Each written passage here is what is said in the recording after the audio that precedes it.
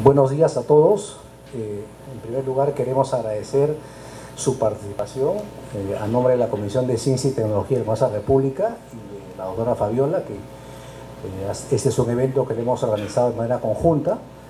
Creemos que el tema de parques científicos es un tema muy importante. Creo que todos los que nos acompañan ahora tienen algún interés muy particular en, en los parques científicos y estamos seguros que esta mañana este foro va a ser de mucho interés para resolver algunas dudas y conceptos respecto a la importancia del funcionamiento de parques en nuestro país. Voy a dejar en el uso de la palabra al congresista César Seguro Izquierdo para que pueda eh, dar las palabras eh, de inauguración de este evento.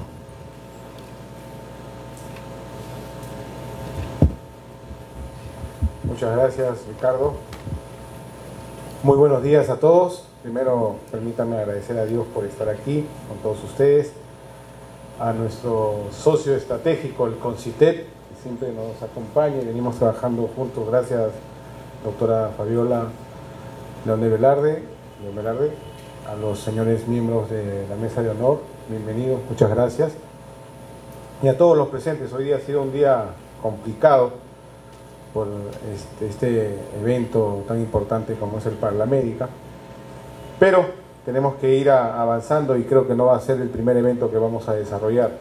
Este tema de los parques científicos tecnológicos eh, es un tema muy común en, Europa, en Estados Unidos, ya en Colombia tenemos en Antioquia una experiencia, pero muy difícil de desarrollar en nuestro país y, no nos es extraño por el, tema de, en que venimos estando inmersos en toda Latinoamérica, como es el tema de la, corrupción, y es un tema que se está viendo ahora en, el Parlamento, ¿no? Eh, las entidades públicas, en este caso la universidad eh, y las empresas y el Estado, llámese gobiernos locales y regionales, están muy eh, cuidadosos, otros muy distraídos, si se quiere, en temas de, obras eh, infanciáticas y que no contribuyen al desarrollo, más que de realizar temas decorativos dentro de, de su jurisdicción, o región, o provincia, o distrito. Como experiencia, eh, les puedo contar lo que hemos visto en, Barcelona, por ejemplo, ¿no? donde a raíz de esta visita eh, pudimos eh, no solamente ver los resultados que se dan a través de, esta triple, hélice, como es la, empresa, el gobierno y, y, la universidad, el desarrollo que se viene dando. A raíz de, este, de, este, de esta experiencia pudimos nosotros tener otras alternativas eh, legislativas o políticas públicas. Por ejemplo, vimos cómo se desarrollaba el tema de los eh, vehículos híbridos y, el suministro de los mismos. ¿no? Eh, y esto fue algo que vimos en el caminar de, este, de esta importante ciudad como es este, o, distrito o localidad como es este arroba 22. Y a raíz de esa experiencia hemos aterrizado en, varias políticas públicas, eh, una ley declarativa. Y, declarativa porque yo soy un poquito, eh, no, enemigo, no distante de las este, leyes declarativas, porque declaro de interés, tenemos que muchas veces recurrir a ellas porque no tenemos iniciativa de gasto, pero es una manera de, de hacer reaccionar al, Estado. Y en eso también estamos en los temas de los parques eh, científicos tecnológicos, tratando de hacer despertar, de darles el despertiz, de decirles cómo podemos involucrarlos o hacerlos de su interés el que se desarrollen estos, estos parques tecnológicos científicos, ¿no? Porque eh, permite desarrollarse algo que, venimos haciendo en el Congreso, viene haciendo la CONCITEP y, también, como no, la universidad, es eh, generar eh, ciencia, generar innovación, generar tecnologías, eh, aprovechar las que tenemos, no conocemos qué tenemos nosotros en, en, el espacio, ¿no? Por ahí escuché a un parlamentario, que no quiero decir su nombre, oye, pero con este extraordinario satélite que ha costado un montón de plata, eh, podemos nosotros prever y saber cuáles son los temas meteorológicos. No, es otro, es otro tema. Este tema más bien nos va a permitir cómo que las ciudades deberían crecer a través de un catastro real, de una planificación, etc. O sea, ¿cuál es la, la función que nos toca a nosotros? Es, aparte de legislar y representar y hacer un control político, hacer que se articulen las herramientas que tenemos en el Estado y hacerlas conocer, como no, por, todo, por todas las instituciones a nivel nacional. Y eso es lo que venimos haciendo, desarrollando eh, en la Comisión de Ciencia, Innovación y Tecnología a través de estas audiencias y estos foros que presentamos de manera eh, mensual, acompañados de la CONCITEP, acompañados de la CONIDA, acompañados del Instituto Nacional de, Energía Nuclear, en ICA ya habían hecho un estudio respecto al agua y me decían, ¿y por qué, tiene que ver la energía nuclear con el agua? Bueno, pues hay, agua, hay aguas fósiles y ellos han hecho los estudios. Aguas fósiles. Ellos saben de qué manera se viene eh, incrementando eh, los acueductos, incrementando la, napa freática, y, ellos nos pueden ayudar en ese tema. Entonces, ¿qué nos toca? Reitero, es articular, hacer conocer a las, a las instituciones, al sector público y al sector privado las herramientas que tenemos justamente para coadyuvar, articular, a buscar el desarrollo que tanto requiere en nuestro país. Así que este, yo les agradezco por, por, la, por su presencia, por, por estar aquí, dando de, su tiempo para justamente buscar el desarrollo de, nuestro país, a la señora, a nuestra presidenta del CONCITEP, que con su ardua y amplia experiencia este, quiere hacer, eh, llevar esta, esta, estos conocimientos para justamente el desarrollo eh, eh, de todos. ¿no? Ayer estuvimos en la Fuerza Aérea del Perú, hemos estado también en la Marina de Guerra del Perú viendo cómo hacen innovación, tecnología. Es increíble que veamos aviones en Las Palmas, aviones comerciales, que no hacen servicio comercial en el Perú. Aerolíneas que son del otro lado del mundo, nombres que nunca hemos visto, que vienen a hacer mantenimiento a nuestra Fuerza Aérea, al SEMAN, por la calidad de servicio que prestamos. Y no lo sabemos. Muchas gracias y bienvenidos.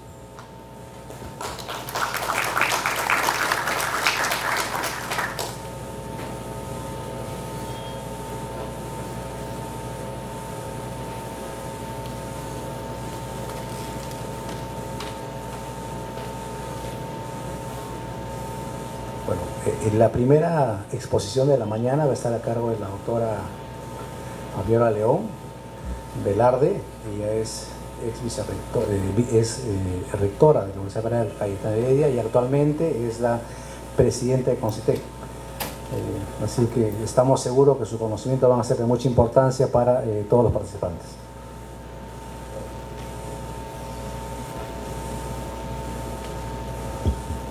Muy buenos días a todos y a todas. Eh, mi saludo al presidente de la Comisión de Ciencia y Tecnología del Congreso, señor César Segura, eh, al estimado rector de la Universidad Nacional Agraria La Molina, señor Enrique Ricardo Flores, representante del Instituto Regional de Ciencia, Tecnología e Innovación del Gobierno Regional de Piura, señor Gerardo Acuña, estimado representante de la Agenda Regional de Innovación de Piura, señor William Ipanaqué. Mi saludo también al representante de la Pontificia Universidad Católica del proyecto Parque Científico Tecnológico Social en Santa María del Mar, señor Julio Vargas, y al representante del Centro de Innovación Científica, Ecológica y Académica de la Universidad Peruana Cayetano Heredia, señor Víctor Guanambá. Eh, lo primero, agradecer eh, que esta iniciativa se haya podido dar aquí en el Congreso de la República, que da cuenta del compromiso que tiene el presidente César Segura con la ciencia y tecnología. Eh, realmente eh, ha estado el presidente de manera personal y la comisión con las puertas abiertas para escuchar las iniciativas y las necesidades que tiene la ciencia y tecnología del país y actuar de la manera más pronta para eh, poder, dentro de los espacios que tiene la Comisión de Ciencia y Tecnología eh, del Congreso, que es impartir las normas que pueden facilitar el desarrollo y la promoción de ciencia y tecnología, siempre ha estado de pie para eh, apoyar y, y, trabajar intensamente, por ejemplo, para la norma que ha sido aprobada anteayer en la Comisión de Educación, pero que había sido aprobada por unanimidad previamente en la Comisión de Ciencia y Tecnología y propuesta desde esa comisión la ley de promoción del investigador. Eh, todavía esa ley debe pasar al Pleno y necesita evidentemente un reglamento que sería so socializado con todas las autoridades. Eh, aquí mi saluda a las autoridades, señores vicerrectores, también ingeniero Augusto Mellado, expresidente del CONCITEC, eh, pero que creo que va a ser un paso muy importante, presidente, para que empecemos a, a, a reconocer al investigador, no solo en tanto que docente investigador, sino como un investigador que tiene sus niveles de categorización al igual que un docente, pero de manera paralela, y que puede o no hacer docencia de acuerdo a los fondos que tenga. Bueno, cuando esta ley ya sea, ojalá, aprobada en el Pleno, como comentábamos y antes también, comenzará a ser socializada de manera a recibir todos sus aportes que serán importantes, eh, porque si bien es cierto, a veces consideramos que algunas normas sin iniciativa de gasto no son lo útiles, útiles que quisiéramos, debemos recordar también que las universidades tienen autonomía administrativa y por lo tanto una norma que reconozca la categoría del investigador, estamos convencidos que desde ya será muy útil para empezar a eh, trabajar en el reconocimiento de, de, este grupo. Entonces, sin más, quería, no, quería dejar pasar este importante momento que tuvimos y eh, comenzar entonces con este, este tema tan importante donde a pesar de los esfuerzos importantes que se han hecho desde las universidades, eh, desde las empresas en algunas instancias en el Perú, desde la unión de la universidad empresa, todavía no eh, logramos realmente tener este concepto tan, eh, no diría presente, sino ejecutándose y sobre todo impactando en las diferentes regiones de un parque científico-tecnológico. Yo me voy a permitir hacer una presentación sobre el estado de, los parques tecnológicos de manera breve en, en, otras partes del mundo y básicamente los requisitos que eh, un parque científico debe tener, porque eh, a veces el entusiasmo nos lleva a decir vamos a juntar las empresas y las universidades y, y, vamos a, a, generar nuestro parque tecnológico con la mejor intención porque es mejor comenzar a hacerlo que no hacer nada. Pero eh, la formación de los parques tiene sus reglas de juego para que realmente sean exitosos. ¿no? Y, eso es lo que quiero hacer una breve presentación para que lo tengamos en cuenta y también eh, ya las instituciones que han ido haciendo esos esfuerzos que son realmente titánicos por ahora en el Perú nos vayan contando eh, en qué momento estamos y cómo desde el CONCITEC y desde, en este caso, la Comisión de Ciencia y Tecnología también se puede apoyar a este desarrollo tan importante, por supuesto, desde las regiones también, desde las universidades y las empresas. Eh, entonces, bueno, la, agenda será eh, la que aparece allí. Vamos a los inicios de, de los parques tecnológicos eh, y cómo se han ido desarrollando hasta, como decía, cómo podemos nosotros eh, ir cumpliendo los pasos debidos para no equivocarnos en la conformación de un parque científico. El inicio, creo que todos, quien no ha escuchado de Silicon Valley y la Universidad de Stanford, pues allí se conforma el primer parque científico llamado Stanford Research Park, siendo el término parque científico o de investigación acuñado por primera vez. ¿no? Esto está en los años 1950. Y fue conocido como lo que queremos hacer, esta, esta plataforma que vincule la academia y la industria y que desarrolla tecnología para que se aplique en el sector básicamente industrial, porque estamos hablando que genere un crecimiento económico a gran escala, que genere empleo para los egresados, de, en ese caso fue de la Universidad de Stanford, y recursos para docentes en la universidad a partir de la explotación de sus extensos territorios. Y en este caso ha sido también, en muchos casos en el Perú, ¿no? un extenso territorio donado o cedido que ha dado origen a un parque tecnológico. Eh, el otro esfuerzo importante fue en el año ya 59, en Carolina del Norte, surge el Research Triangle Park. El, parque, eh, uno de los parques más grandes del mundo, conformado por las universidades de Duke, eh, por la, Universidad de Carolina del Norte, y actualmente alberga empresas como Cisco, IBM y Glaxo Smith y Klein, uno de los más grandes laboratorios farmacéuticos del mundo. En los años 70 se comienzan a crear los parques en Europa, donde se destaca el desarrollo español a través de políticas públicas. Ahí las políticas públicas fueron sumamente importantes en España, asociadas a la inversión de los gobiernos regionales, también claves en el desarrollo de parques. Posteriormente llegaron a la necesidad de tener parques Japón, China e India, y eh, como ah, suele suceder, los, los monstruos asiáticos empiezan a crecer rápidamente y también se consolidan en eh, la creación de parques. En el caso de la siguiente, de eh, Stanford Research Park, se observa la evolución de la Universidad de Stanford, la siguiente, eh, ahí está, a partir del parque, ahí tenemos como cómo va el incremento desde 1950 a 2007, y se observa la evolución de la propia universidad. Lo que ahora es Silicon Valley en ese momento no existía y su territorio estaba dedicado a cultivar fruta.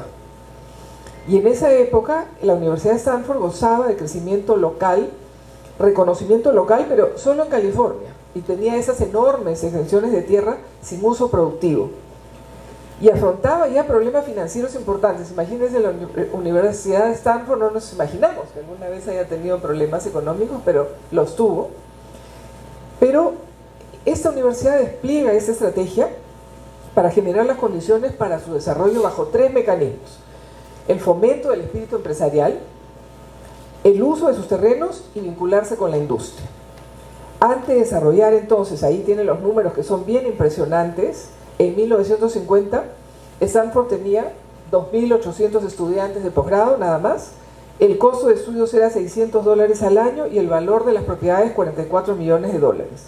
No tenía ninguna medalla científica que lo destacase en ciencias, ningún premio Nobel, 100 millones de presupuesto anual y 11 millones de subvenciones.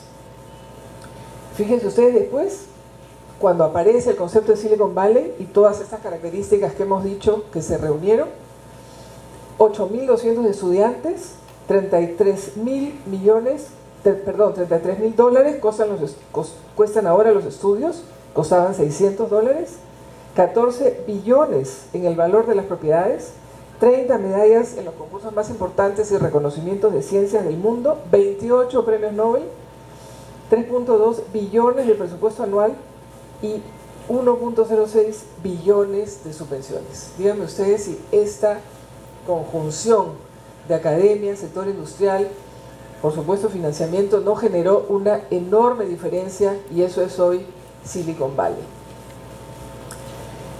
Em, fue muy importante en los 60 y 80 de la mano de políticas públicas como una ley que, que se dio en llamar la ley ¿En qué significaba esto? Que antes las investigaciones financiadas con dinero público debían revertir al Estado. Esa ley, la ley Bayh-Dole, eh, generó mucha controversia, pero dio un punto de inflexión, porque después de esa ley, las investigaciones financiadas con dineros públicos eran propiedad de la institución donde el Estado había invertido y las instituciones privadas podían hacer uso de esa propiedad intelectual. O sea, fue realmente un corte en el crecimiento de este tipo de iniciativas.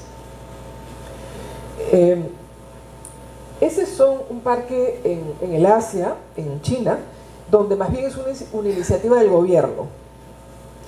Entonces, eh, tenemos dos tipos de iniciativas diferentes, pero esta también muy importante.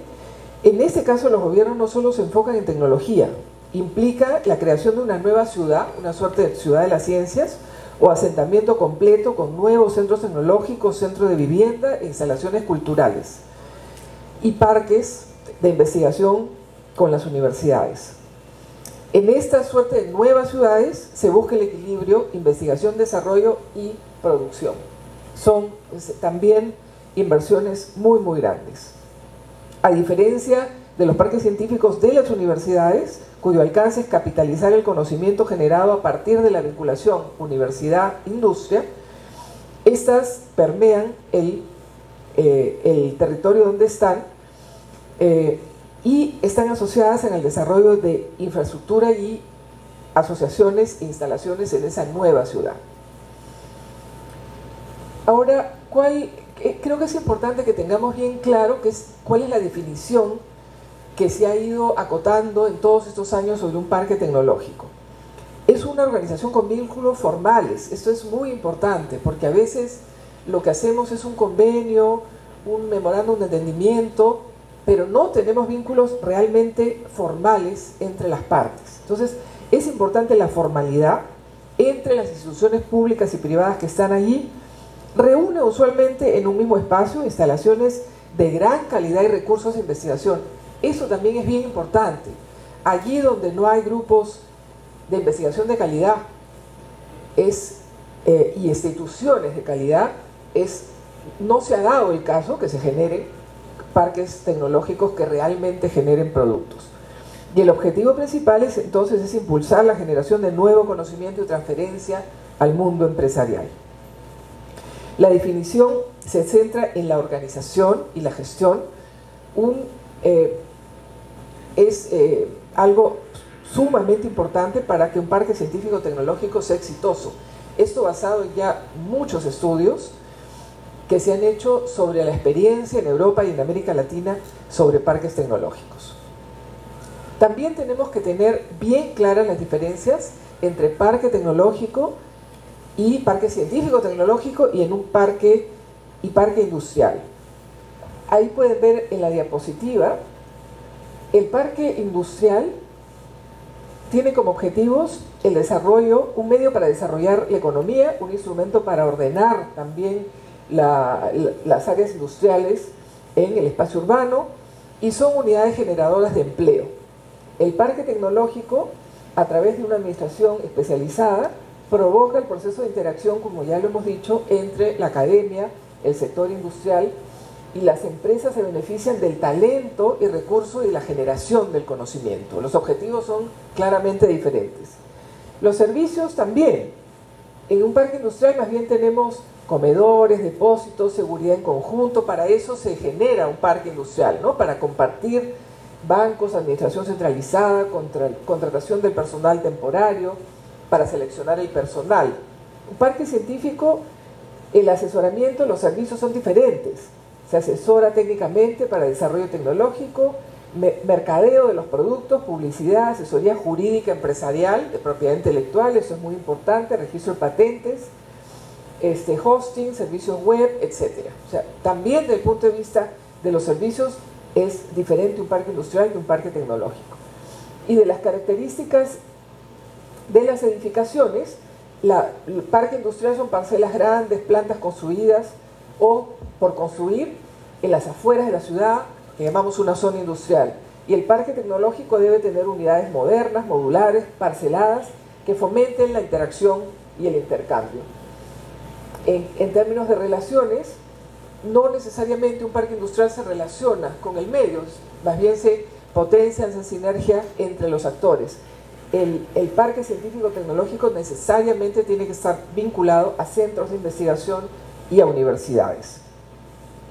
¿Cuáles son entonces las características más importantes? La siguiente, de un parque científico tecnológico, fuertes vínculos con las universidades y centros que generan conocimiento necesitan una gestión específica y especializada. Se consideran proyectos de alta intensidad de gestión. Eso es bien importante.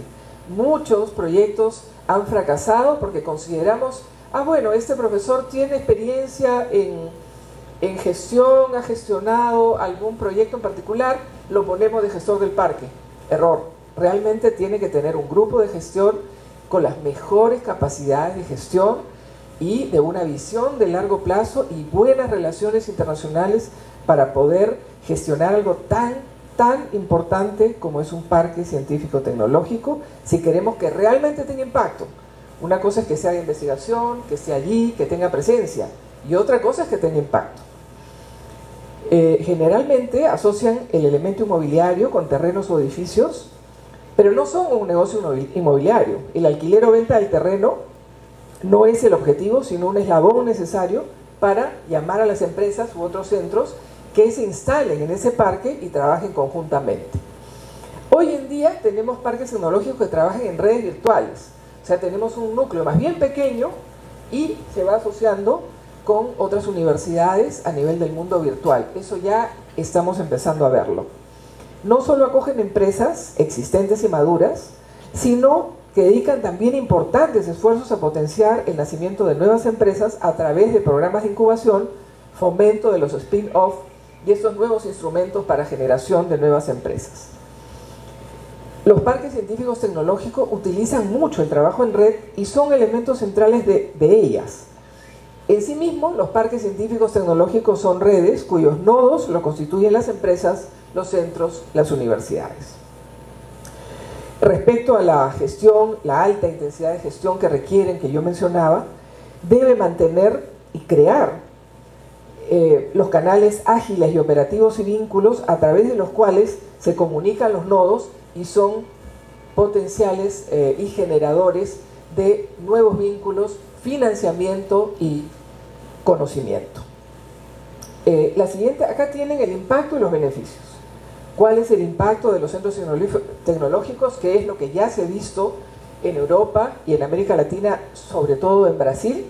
Aumentar el capital humano especializado, lograr un uso eficiente de, los incentivos públicos eh, para que realmente las empresas, para que den respuesta a los desafíos de las empresas, reducir las brechas educativas y principalmente brechas, brechas tecnológicas, crear los nuevos clústeres, estas uniones de diferentes actores donde toda la cadena de valor se desarrolle a través de la tecnología eh, los clústeres son muy importantes a nivel regional, por eso los parques regionales también son sumamente importantes.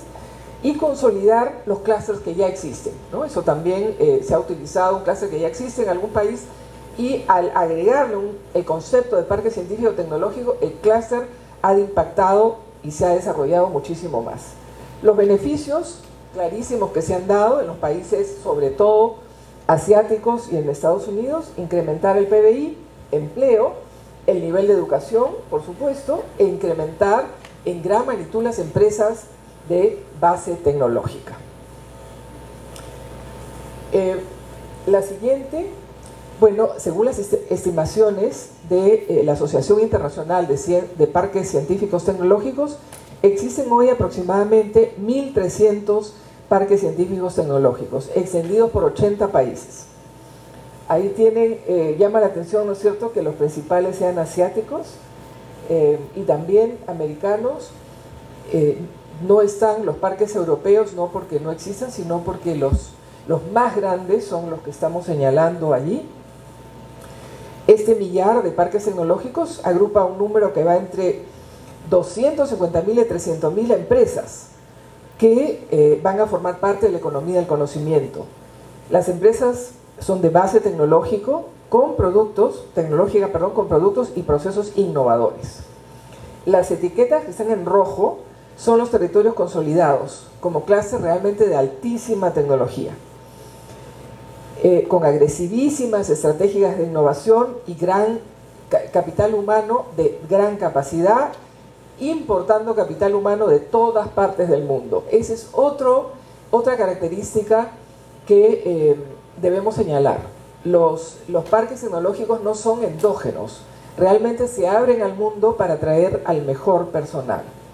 Las etiquetas en azul son los espacios dedicados a la innovación bajo el modelo parque tecnológico, eh, es decir, donde más bien ese parque ha permeado al desarrollo económico de la región donde se instala.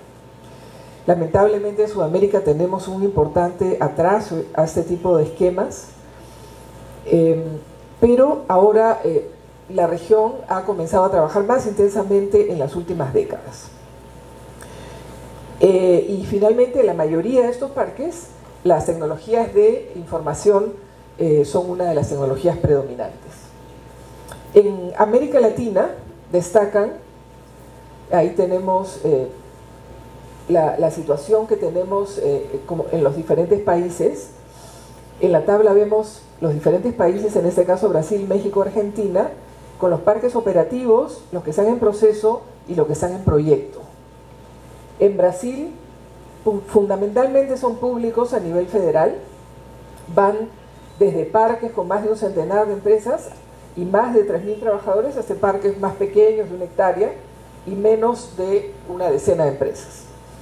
En México, de los países donde más parques científicos hay, es una fundamentalmente una iniciativa mixta, privada, de gobiernos estaduales, federal y academia. Y eh, van desde parques también que aspiren a cubrir más de 4.000 hectáreas a localizados en un solo edificio con empresas. Pero las características siempre son alta producción de conocimiento, con mayor o menor éxito, eh, pero siempre buscando los objetivos que impacten, que es lo que he mencionado hace un momento. Y Argentina son más pequeños, solamente cinco realmente operativos, más dependientes del sector privado.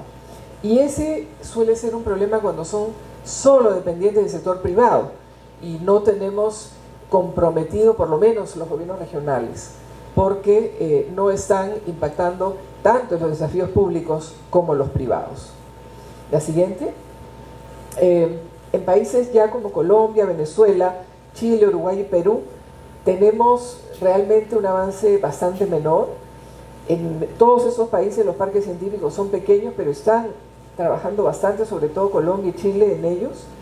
Eh, Uruguay está avanzando con un balance entre la iniciativa pública-privada y en Perú realmente creo que, no podemos decir que tenemos eh, tanto como ningún parque en, proceso, ojalá podamos decirlo, pero entendemos que realmente tienen que comenzar a impactar en, la, generación de recurso humano eh, que trabaje generando conocimiento en el parque tecnológico. Y ese es un cuidado tal vez que tenemos que tener, porque lo que solemos hacer es, teniendo unas universidades que tengan eh, una importante eh, presencia de material humano, científicos trabajando, tenemos que tomar una decisión.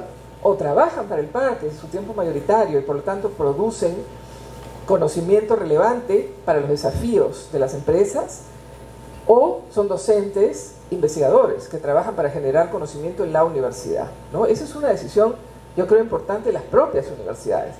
Pero pedirle al mismo docente que haga docencia, que genere conocimiento relevante para el conocimiento y genere, genere conocimiento relevante para que impacte, es, es una, un, balance complejo eh, que a veces impide el mismo desarrollo del parque tecnológico. Si el investigador no se concentra en su tarea, que es generar conocimiento que impacte eh, y que se focalice y que sea priorizado para las políticas del mismo parque.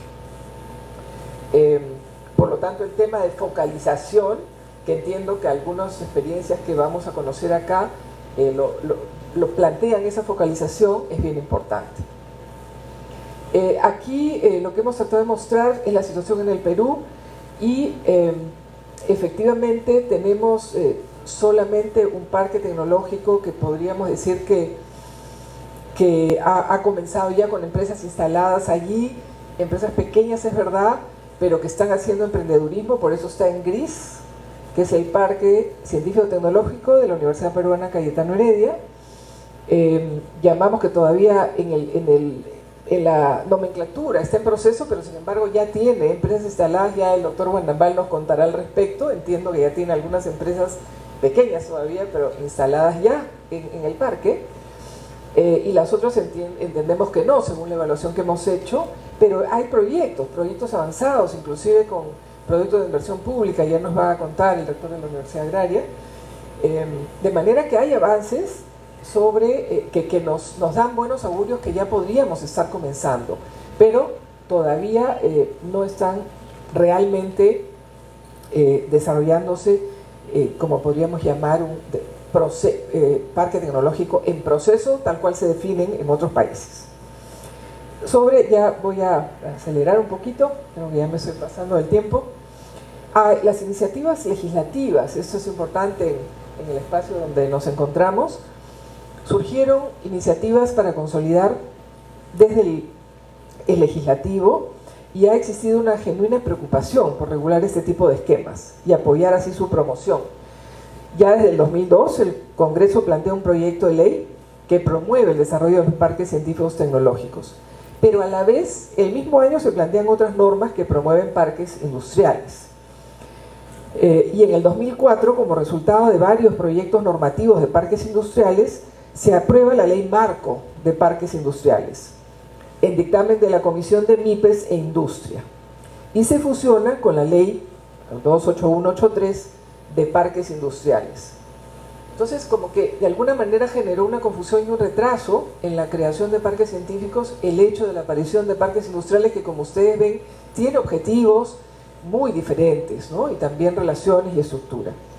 El año 2016 finalmente se activó nuevamente el proyecto de promoción de parques científicos tecnológicos y que, podía, y que puede permitir desarrollar eh, en una norma de regulación que define un parque científico tecnológico y los instrumentos de apoyo desde el gobierno. ¿Cuáles son las condiciones necesarias que permitirían el desarrollo de un parque científico en, finalmente en el Perú? La siguiente, debe incluir necesariamente el componente tecnológico mediante la presencia de instituciones intensivas en conocimiento. es bien necesario que tengamos claramente que la calidad de los grupos de investigación y la calidad de eh, los socios y las empresas que allí se instalen, los socios internacionales, es sumamente importante. Deben ser capaces de generar así alta tecnología y productos de alto contenido científico. Es eso lo que dará valor agregado a lo que se haga en los diferentes rubros.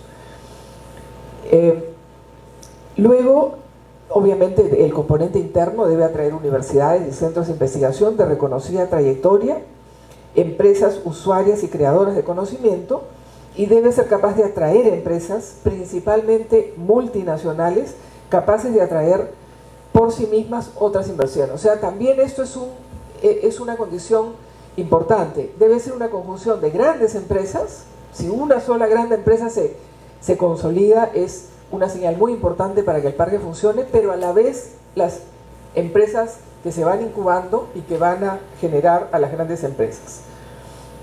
La siguiente, eh, las etapas con las que han ido desarrollándose los parques son esas tres, incubación, consolidación y madurez.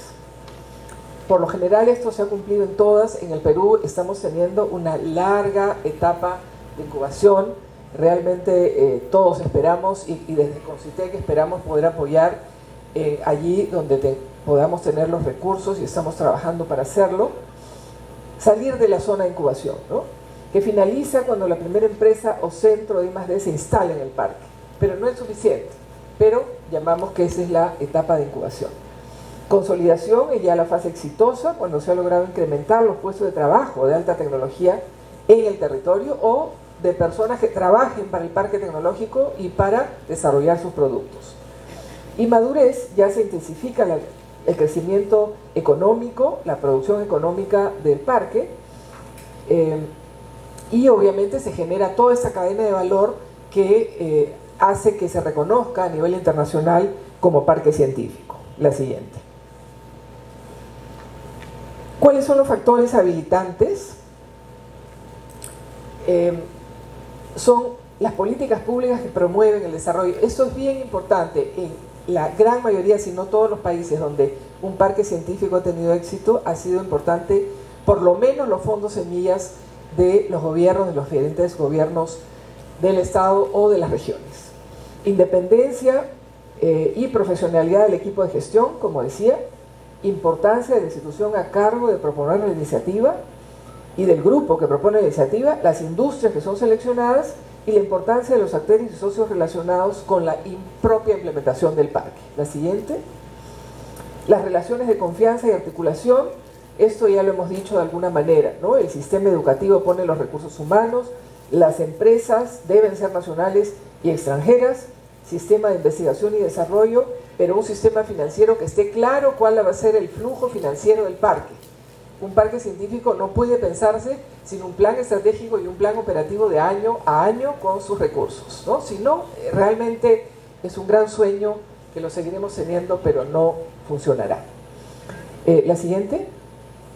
Toda iniciativa del Parque Científico Tecnológico debe comprender capital humano altamente especializado y ponemos ahí en rojo Capital Ángel y agencias públicas, ¿no? porque nuevamente los parques científicos que han tenido éxito han contado con este tipo de capital, capital que se llama aventurero, Capital Ángel, eh, y bueno, las agencias públicas, agencias públicas en el Perú ya tenemos muchas, eh, tenemos eh, Innovate, el PENIPA, el PENIA, los fondos públicos, ahora el proyecto del Banco Mundial, los llamamos agencias públicas, deben dar eh, con sus diferentes instrumentos, proyectos, becas, movilizaciones, también apoyo a los parques tecnológicos y de hecho ya lo están haciendo. La siguiente.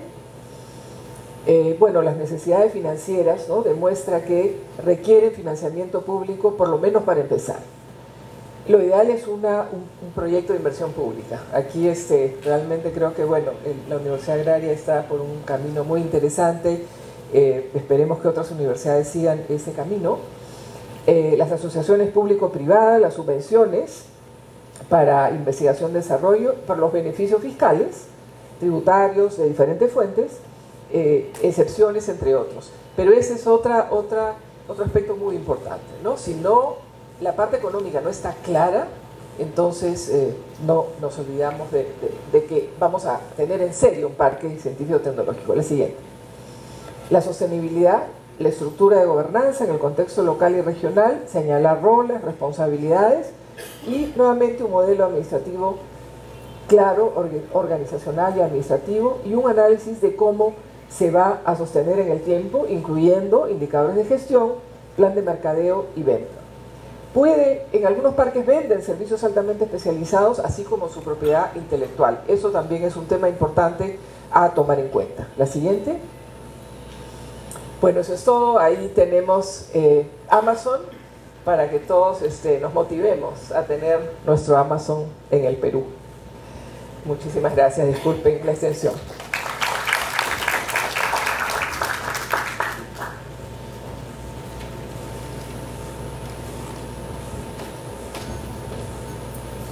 Agradecemos a la doctora Fabiola León Velarde por su presentación. Y a continuación vamos a tener la presentación del doctor Enrique Flores Mariaza, él es eh, rector de la Universidad Nacional Agraria de la Molina. Bueno, ante todo muchas gracias por la, por la invitación que, que nuestra señora presidenta del Consejo de Ciencia y Tecnología le hace a la Universidad Agraria. En realidad, este, la idea del parque tecnológico de la Universidad Agraria, específicamente llamado Parque de Tecnología e Innovación para el Agro nace más o menos desde hace dos años, desde el principio de nuestra gestión. Y nace a raíz de una necesidad expresada por los sectores empresariales de contar con un centro donde se podrían aprovisionar de conocimiento y, por supuesto, información sobre avances tecnológicos, así como programas de capacitación ¿Para qué? Para darle valor agregado a la producción agraria nacional. El sector agrícola nacional representa más o menos el 6% del Producto Bruto Interno. Es un sector que en términos de aporte al Producto Bruto Interno es muy similar al de la minería, tres veces más eh, que el sector pesquero, de manera que es un sector bastante importante para, para el país. El distrito todavía si, lo, si, lo, puede dejar allí. Este, yo le voy a decir, yo le voy a indicar cuando, en todo caso, cuando mover.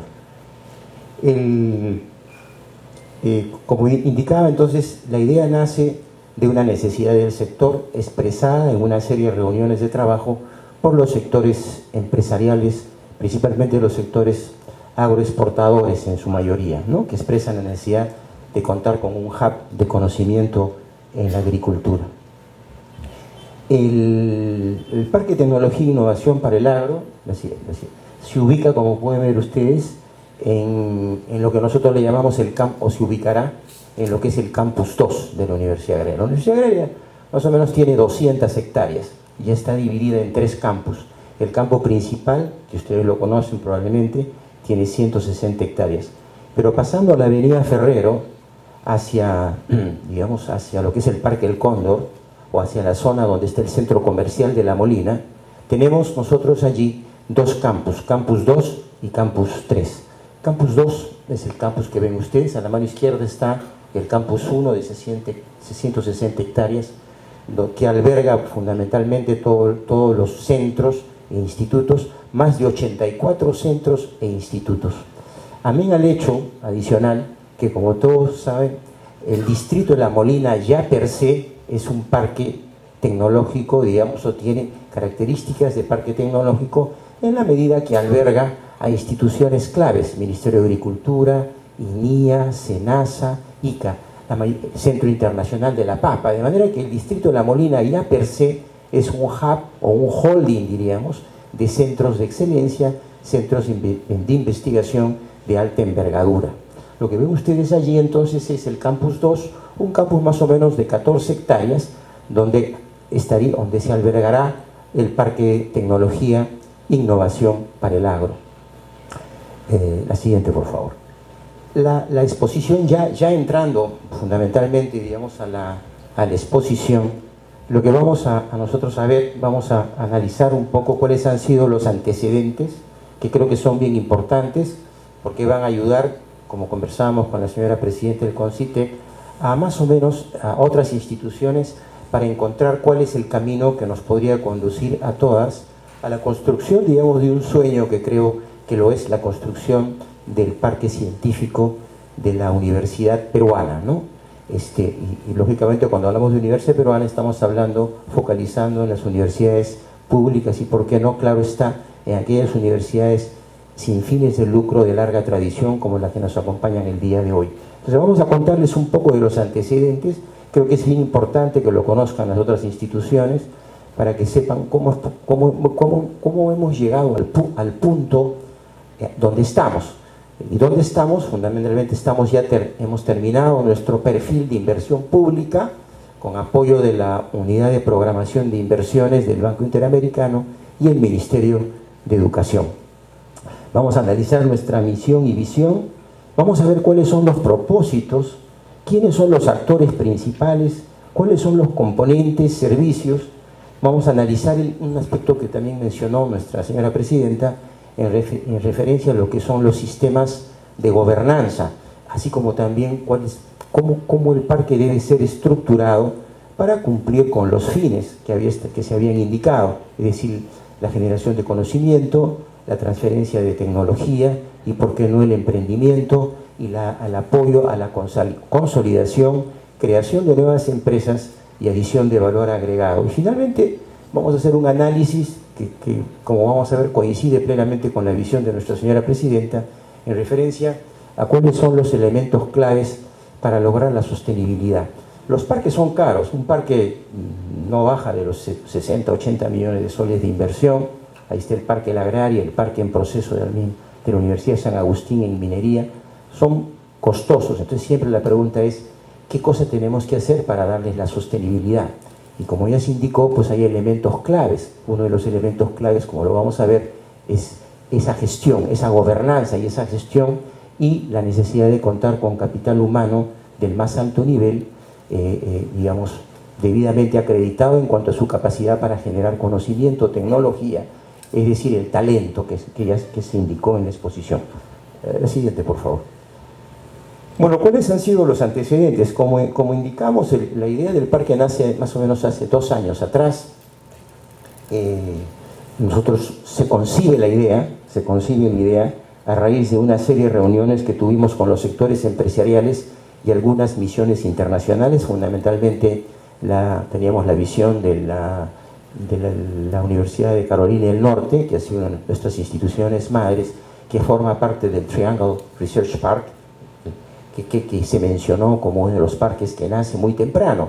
Junto con eh, Silicon Valley nace el, Triángulo, el Parque Triángulo de la Universidad Carolina del Norte.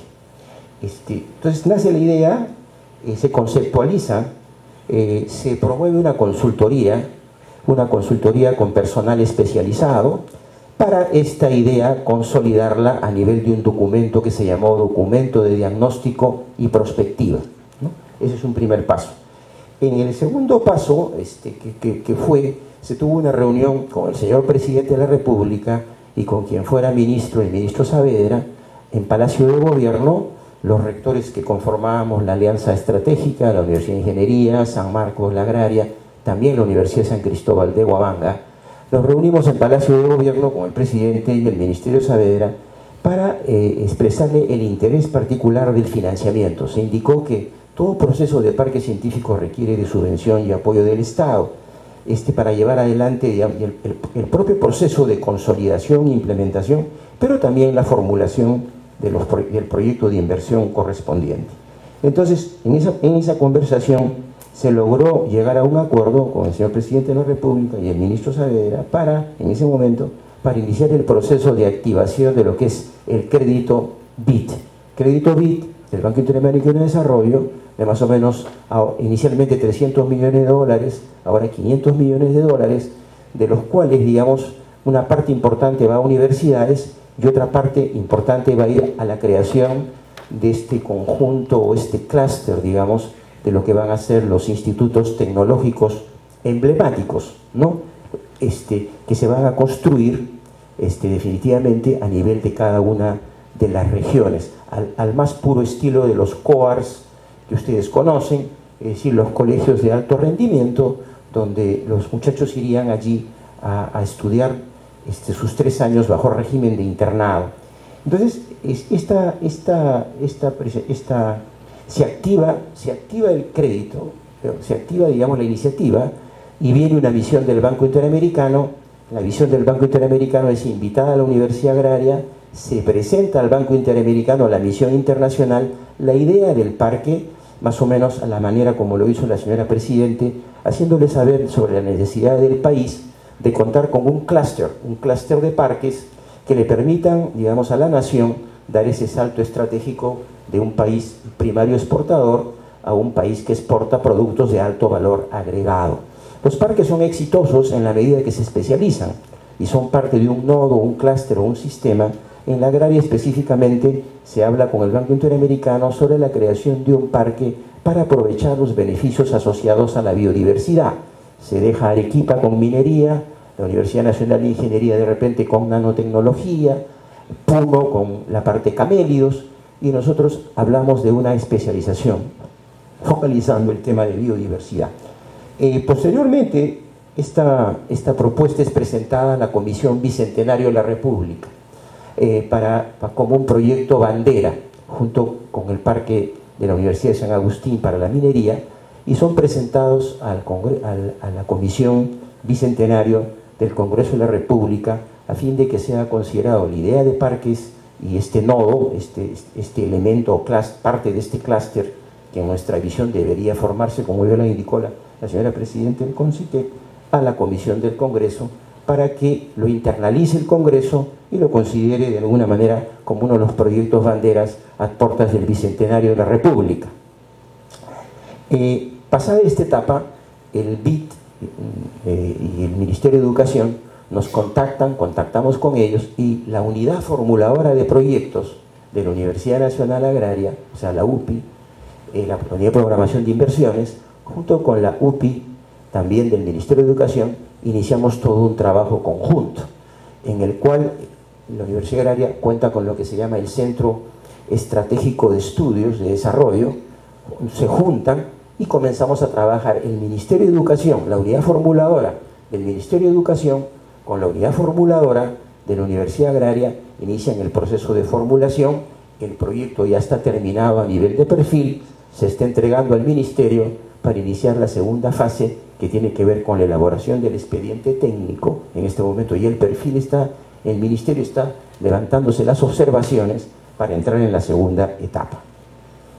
Esta, esta, esta idea es expuesta después en foros internacionales en la Universidad de Harvard, es expuesta con el grupo Las Pau y hay una presentación a la cual estamos invitados nosotros como Universidad Agraria a Cambridge en el marco, digamos, de, este, de un programa que lo piensa auspiciar la Universidad Harvard junto con el programa de el ASPAO, ¿no? este, para promover esta iniciativa de la generación de un clúster de, parques ¿no? Este, que, que, nos permitan al Perú dar ese gran salto fundamental de, de primario exportador a un país que exporta valor agregado. Eso solamente va a ser posible en la concepción de los clústeres, centros de excelencia, que como ya indicó la señora presidenta, si son regionales, mejor. Cada clúster debe estar en el lugar apropiado. ¿no? Caméridos Puno, por ejemplo, este, Arequipa Minería, por ejemplo, etc. Este, la Universidad Agraria, por sus características de ser una universidad regional, porque nosotros mantenemos centros de investigación en costa y sierra y selva, tiene ya las características o la dimensión regional. La siguiente, por favor. Objetivos. Objetivos, por favor. Bueno, los objetivos eh, son aquellos eh, que, han sido indicados también, eh, de alguna manera, por mm, la Presidenta de Concite, por supuesto, articular actividades de investigación, innovación y desarrollo, ofrecer servicios de calidad en términos de asesoramiento, transferencia de tecnología y un aspecto importante que es impulsar la formación de nuevas empresas a partir de emprendimientos. Un componente importante de los parques no solamente son los laboratorios y el talento, sino la importancia de contar con centros de emprendimiento, aceleradoras de empresas que permitan este, la creación de nuevas empresas, que las ideas innovadoras se transformen en empresas de base tecnológica. Ello requiere articular parques con centros de emprendimiento, con centros de incubación y, ¿por qué no?, como vamos a ver nosotros, este, con centros empresariales que, que permitan el anclaje de empresas, ¿no? El anclaje de empresas importantes, ¿no? Aspecto que tiene que trabajarse desde ahora. La Universidad Agraria, nosotros estamos trabajando desde ya en relaciones con empresas, hablándoles del parque, exponiéndoles la idea para asegurar un anclaje, digamos, con la antelación suficiente, o los compromisos antelados que le llamamos nosotros. Bien, los actores principales, este, los actores principales, la siguiente por favor. Los actores principales son la Universidad Agraria, ¿no es cierto?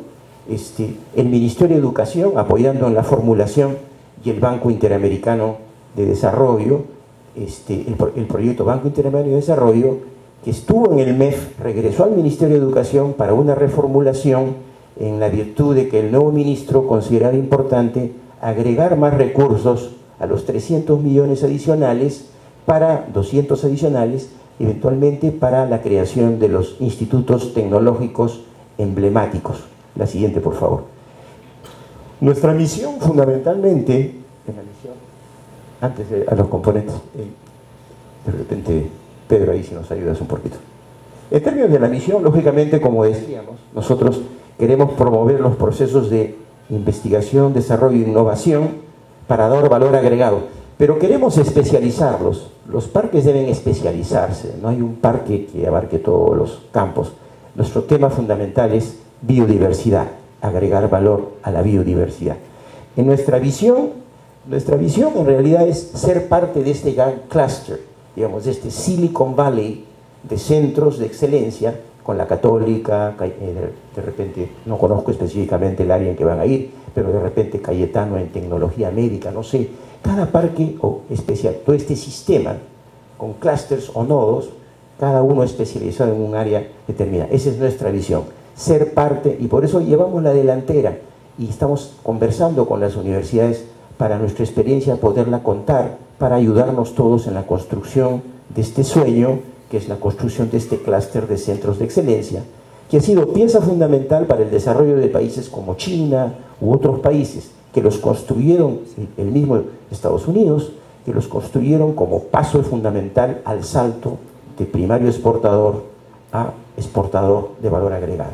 Nuestro propósito, integrarnos a este clúster, ¿no? Y ser, digamos, parte de este componente.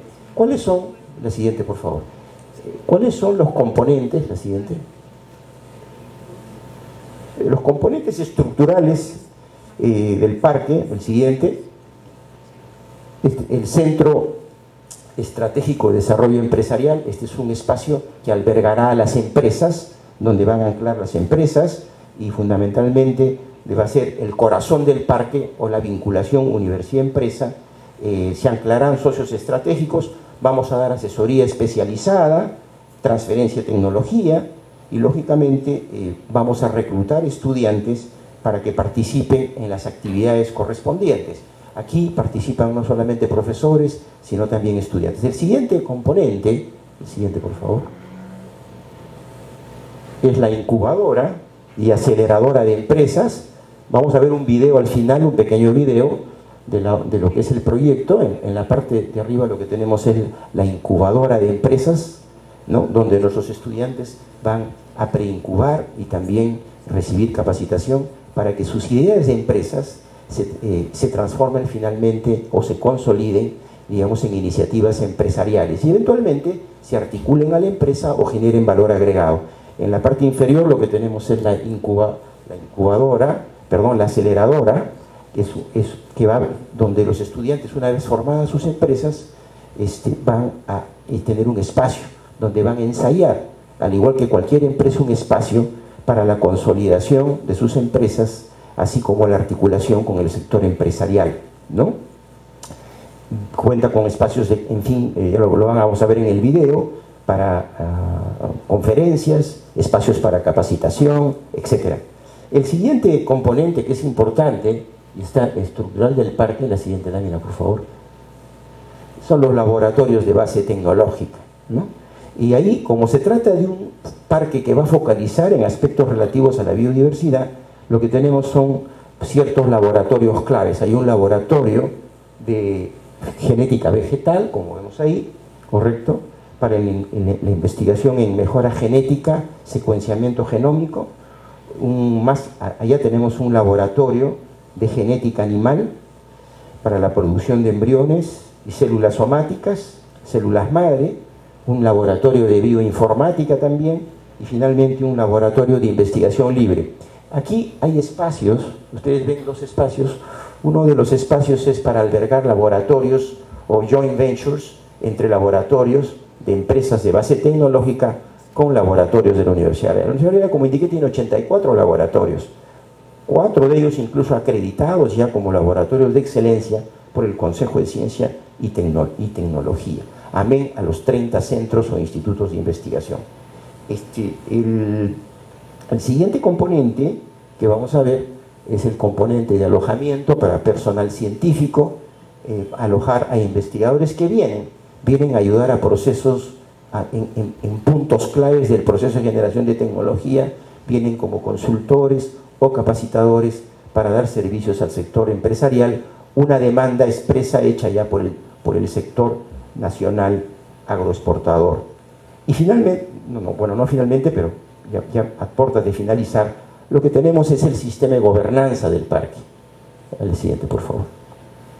La gobernanza. Como ven ustedes ahí, lo que tenemos es un consejo directivo. En el consejo directivo, órgano superior, participa el patronato, empresas claves, eh, el, el, rector y los vicerrectores académicos de investigación forman el consejo directivo. Hay una dirección ejecutiva, un gerente general, digamos, del parque, y debajo de la gerencia general Después de los órganos asesores tenemos una gerencia de extensionismo y transferencia tecnológica, una gerencia de incubación y aceleración, una gerencia de innovación y desarrollo tecnológico y una gerencia de prospectiva y evaluación. Todo está en el documento que hemos presentado nosotros al Ministerio. Ahora, ¿qué impactos esperamos tener? La siguiente, por favor.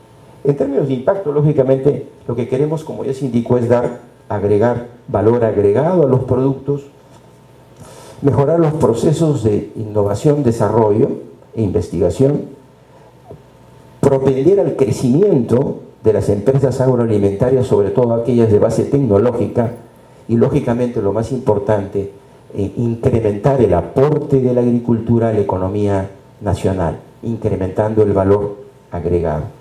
¿Dónde estamos? La siguiente, por favor. ¿En qué proceso estamos? Los procesos, como se indicó, de creación de parques pasan por tres fases. Una fase de proyecto ejecución, una fase 2 de puesta en marcha e incubación y consolidación. Nosotros estamos básicamente en la primera fase.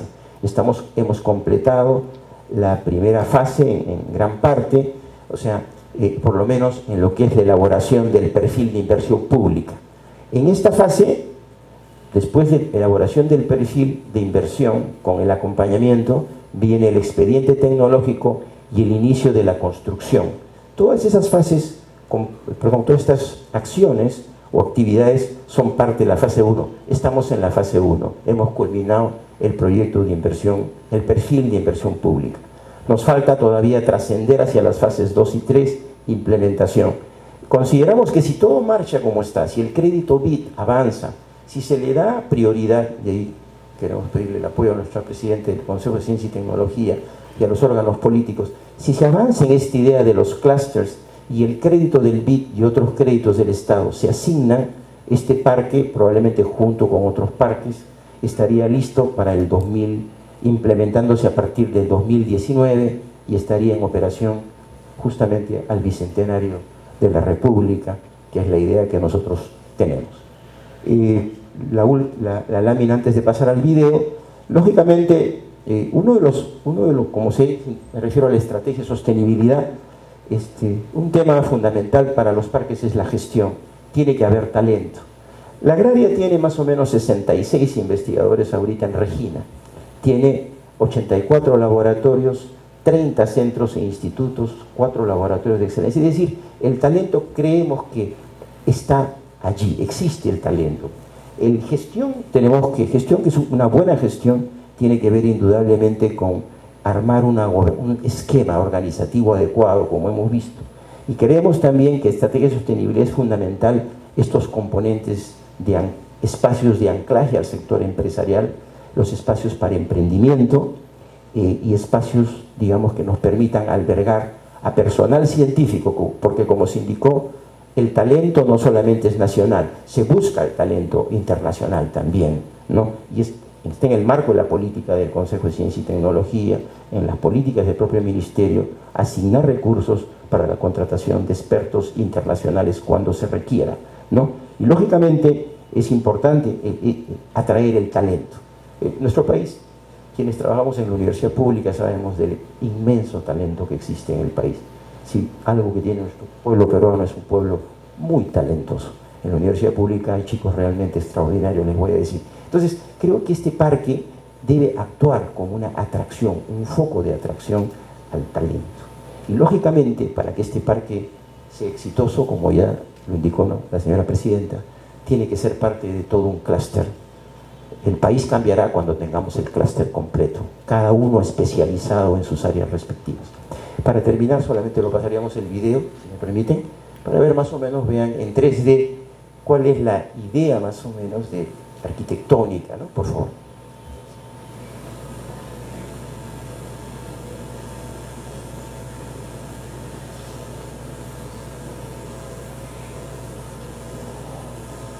La avenida, Ferrero, la avenida Ferrero con Fresnos están ingresando al parque.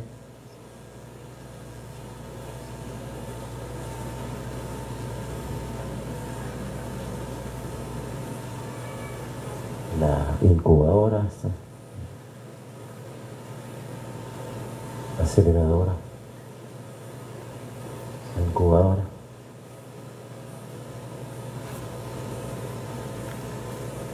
Y el Centro Estratégico Empresarial para el anclaje de empresas.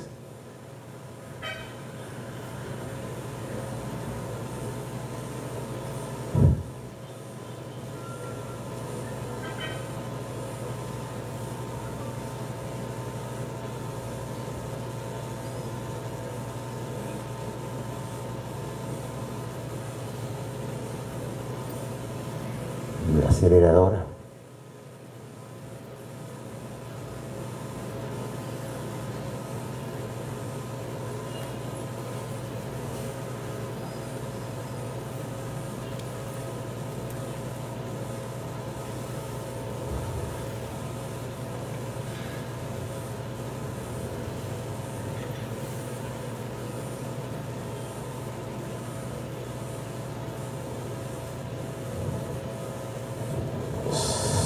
Centro de Desarrollo Empresarial también.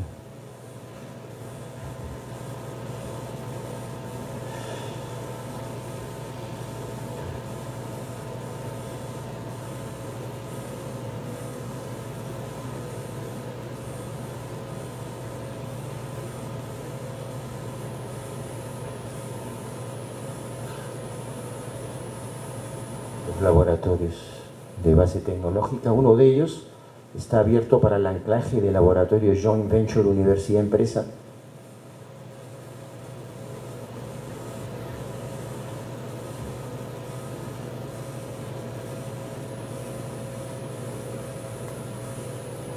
El alojamiento para personal científico.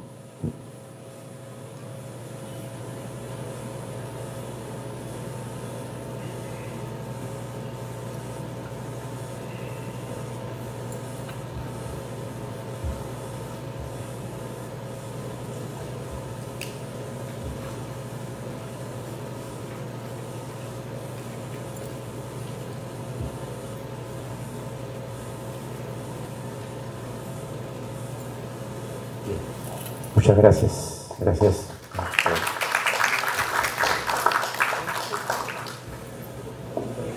Agradecemos al doctor Enrique Ricardo Flores Mariaza por su presentación y saludamos este esfuerzo importante que desde la universidad realizan respecto a este eh, parque científico tecnológico vinculado a la agricultura. A continuación vamos a invitar al señor Julio Vargas Newman, él es asesor de rectorado de la Pontificia Universidad Católica del Perú y nos va a hablar acerca del proyecto de Parque Científico, Tecnológico y Social de Santa María de Mar. Buenos días. Eh, quiero empezar agradeciendo la invitación que nos permite presentar el proyecto del Parque Científico Tecnológico de la Universidad Católica del Perú. Eh, en la presentación voy a tratar de, en el fondo, transmitir un par de preocupaciones importantes en este proceso de formación de parques tecnológicos. Y, esos dos eh, mensajes de preocupación eh, están basados en las estadísticas de el seguimiento que se ha originado en el mundo eh, después de el milagroso eh, nacimiento, creación del proyecto de Silicon Valley. Eh, no, voy a hacer una narración histórica, pero ¿por qué nació Silicon Valley? ¿Por qué nació y cómo repercutió en Europa, en Asia, Sudamérica? Y tal vez intentando eh, ayudarlos a reflexionar eh, sobre un tema que también es importantísimo. Hay parques exitosos y, tal vez un poco más de parques que han fracasado, o por lo menos hasta ahora no han podido desarrollarse. Y, estas conclusiones son importantísimas antes de empezar un proyecto de este tipo y para el país. Entonces, eh, a mí me da la impresión de que eh, estos dos puntos importantes son, en primer lugar, eh, la creación y atracción del talento. Nosotros estamos preocupados cómo lograr en los primeros pasos de, funcionamiento del Parque Científico Tecnológico en Santa María del Mar, cómo vamos a lograr eh, hospedar talento nacional e internacional eh, que obviamente exige condiciones para poder desarrollarse. Y pasa por la preocupación y revisión desde la formación de nuestros alumnos en el área de ciencias e ingeniería, desde los estudios generales, los métodos de enseñanza, cómo ir llegando a transmitir esas condiciones del talento. ¿Qué caracteriza a un científico talentoso? Que se puede generalizar sobre su actividad. Es una persona apasionada por la curiosidad, el descubrimiento, la innovación, eh, esas condiciones que además requieren que las instituciones que los acogen fomenten. Y eh, esto que parece pues sencillo, es un largo camino por recorrer, es no, más o menos nuevo en el país y, yo creo que ahí es donde tenemos que unirnos en comparar, comparar nuestras experiencias. Eh, siguiente, por favor. Este índice de competitividad global eh, ya debe tener unos tres o cuatro años realizado. Detecta claramente cómo, comparado con Latinoamérica, que es esta área gris, el área roja es el caso peruano, eh, nos indica que nuestras carencias van por el lado de la infraestructura, eh, en el ítem 2, también la educación y formación y la formación superior, en el ítem 5, eh, la preparación tecnológica, en el ítem 9, y finalmente la falta de innovación en el ítem 12. O sea, estamos partiendo en condiciones que precisamente nos dicen que hay que crear parques científicos tecnológicos para cubrir prácticamente todas esas deficiencias. El siguiente. Entonces, eh, en la meta de desarrollar eh, sosteniblemente el país, ¿cuáles serían ciertos eh, factores convergentes? La formalidad y corrección, esto incluye el drama que estamos viviendo y, vamos a seguir viviendo un tiempo más de la corrupción. Nuestra formación tiene que incluir desde, desde cero principios que tienen que asentarse para poder hablar de un país nuevo. Necesitamos educación de calidad, como lo acabamos de ver en el gráfico anterior, prácticas grupales, es una actividad, es una recomendación en realidad que nace del acuerdo de Boloña, que es el estudio que se hizo en Europa para copiar las experiencias anglosajonas, en las cuales eh, se reconocía éxito. Entonces Europa tocó su ordenamiento de la enseñanza superior en función de aumentar la cantidad de horas de práctica y prácticas grupales. La interdisciplinaridad, es una pera que se cae de madura y que ya todos felizmente conocemos, para la innovación, los puntos de vista de distintas especialidades no se suman, sino que multiplican el resultado de los trabajos del grupo. Sistemas de información y comunicación globalizadas, transferir conocimiento, hay que aprender a transferir conocimiento. No se trata de, como antiguamente, producir documentos que se lean. Eh, hay que aprender a vivir con las personas que tienen que recibir el conocimiento por transferir.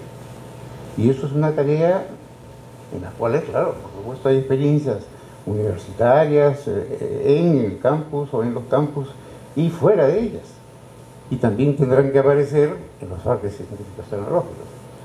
El cuidado ambiental, la cultura y gestión del agua, ya, ya, se conoce que dentro de 10 años eh, habrán ciudades colapsadas por falta de agua. La primera que ha sido sindicada con este drama es en la ciudad del Cabo.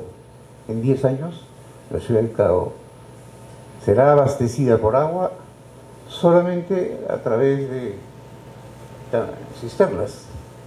¿Se imaginan una ciudad que solamente se abastece de agua por cisternas? Las colas, los dramas, la violencia, la corrupción.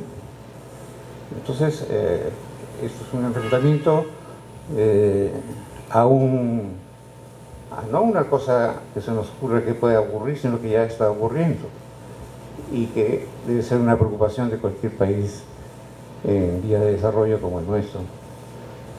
Por supuesto, también lo había indicado la figura anterior, la infraestructura vial como una prioridad de inversión en nuestro país. La siguiente.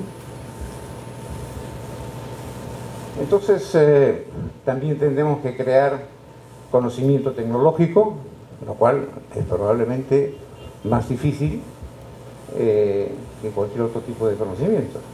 Crecer tecnológicamente en, tecnologías de la comunicación, las TICs, las tecnologías de información y comunicación, modificar nuestro tejido empresarial, lograr diversidad productiva, que son prácticamente voluntades hermanas, crear valor agregado,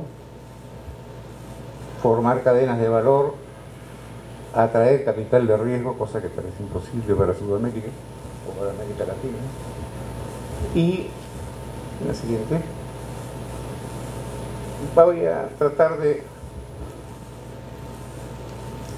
abordar la idea de cómo, de qué pasó en, Silicon Valley para poder aprender algo más respecto a cómo ha repercutido y cómo copiar la experiencia, o qué parte de la experiencia se puede copiar.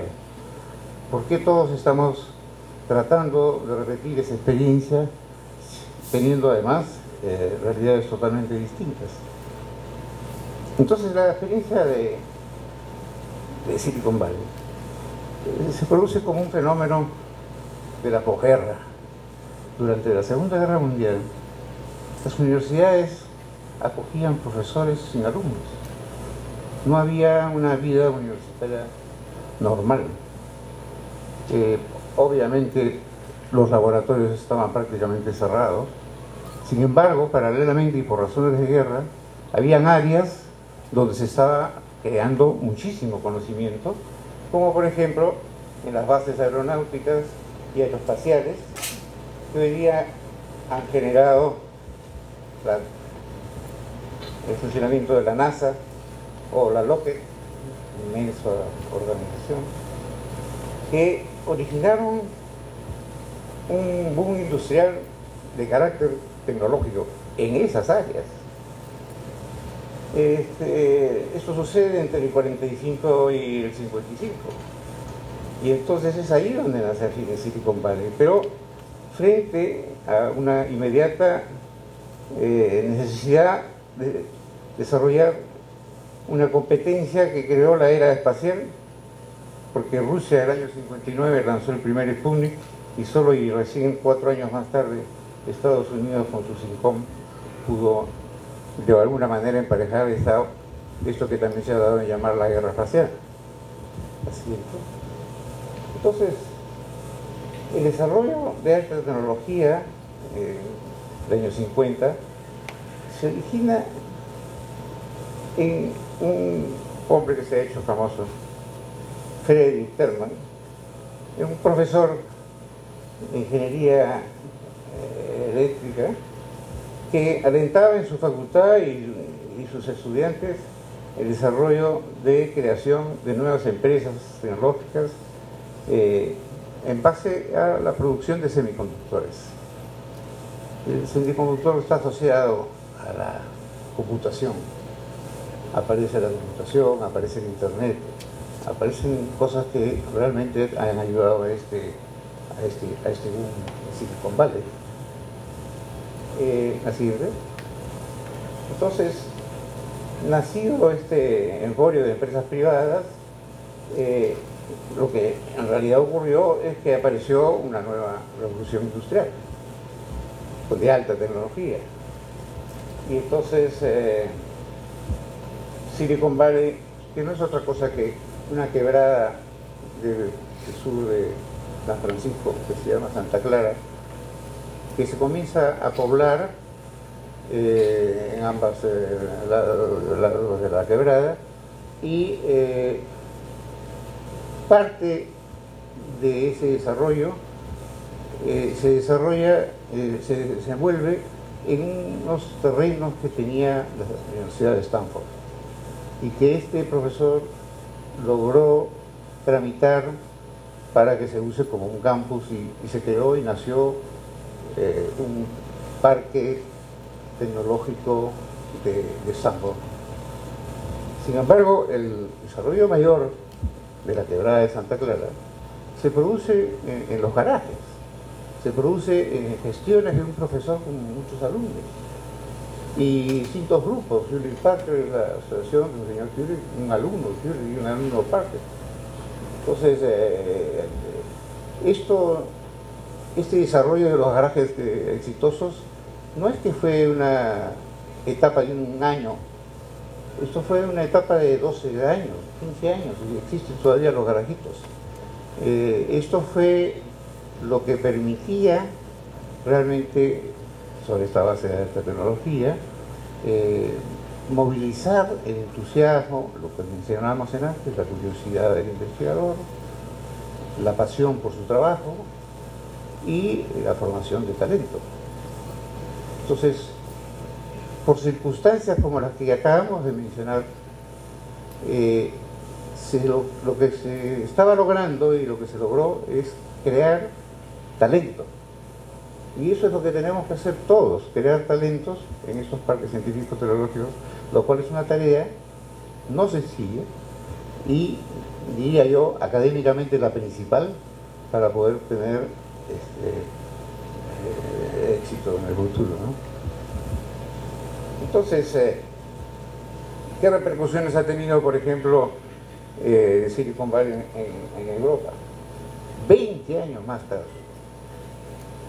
Se capta la necesidad y se logra los desarrollos de Cambridge, el desarrollo de Inglaterra, el desarrollo de, de Sofía Antípolis en, Francia, casi simultáneamente.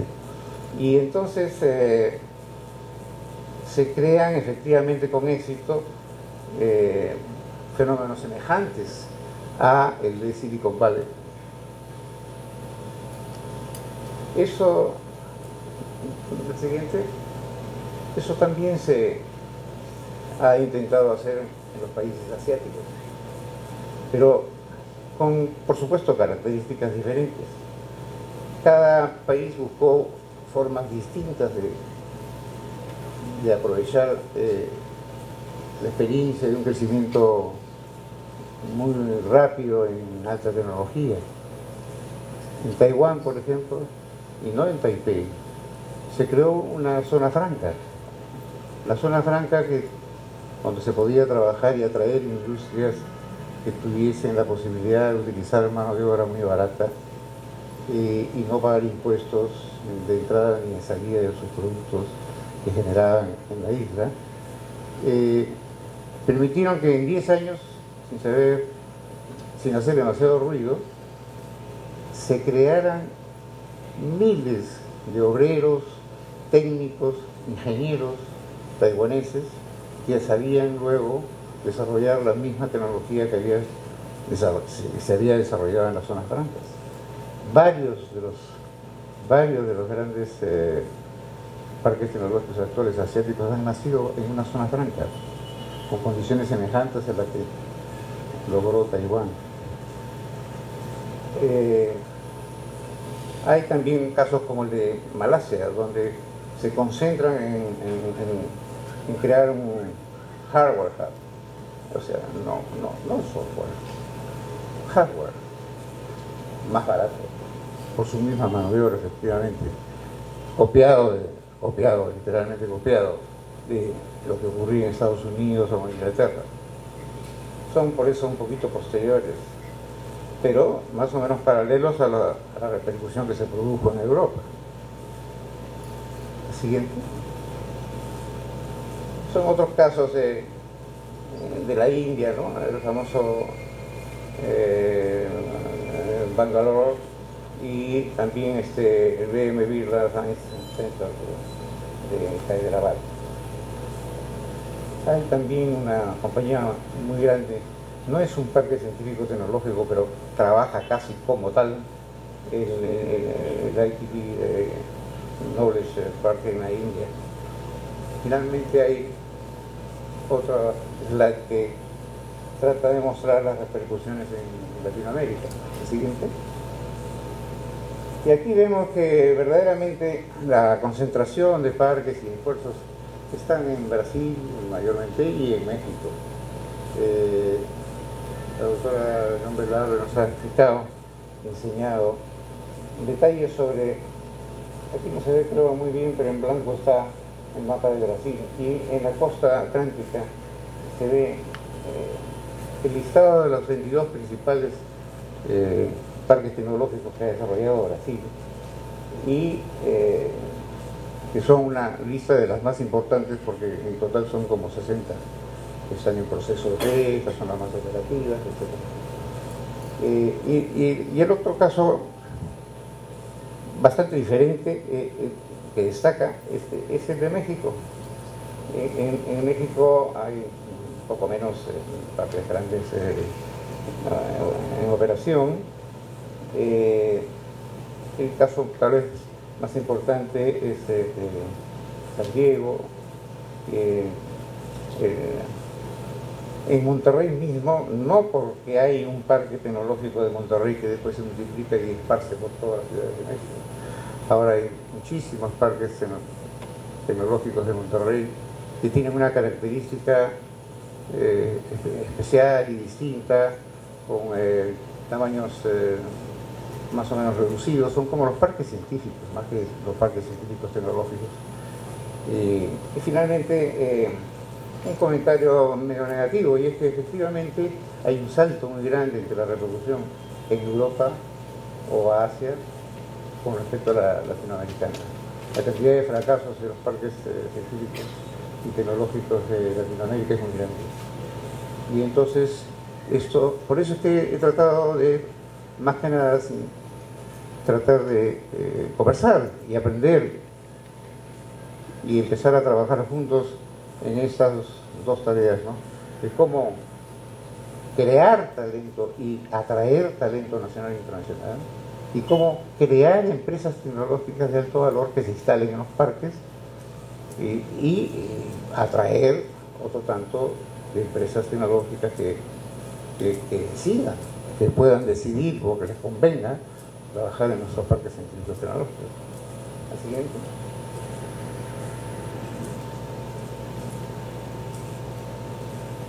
Entonces, eh, como resumen y de objetivos, eh, yo diría que los parques científicos tecnológicos son espacios, o, más bien en la práctica, urbanizaciones diseñadas para incentivar formación y crecimiento de empresas tecnológicas, centros de investigación, universidades y, por qué no, grupos de emprendedores, proveedores de servicios de inversión, consultores y técnicos de en general otros actores económicos eh, que intensifiquen el uso de conocimientos de alta tecnología en sinergia y actividades productivas vinculadas entre sí, o sea, todos trabajan en un mismo, en una misma sinergia y, eh, tratando de que eh, en este ambiente se puedan generar actividades conjuntas win-win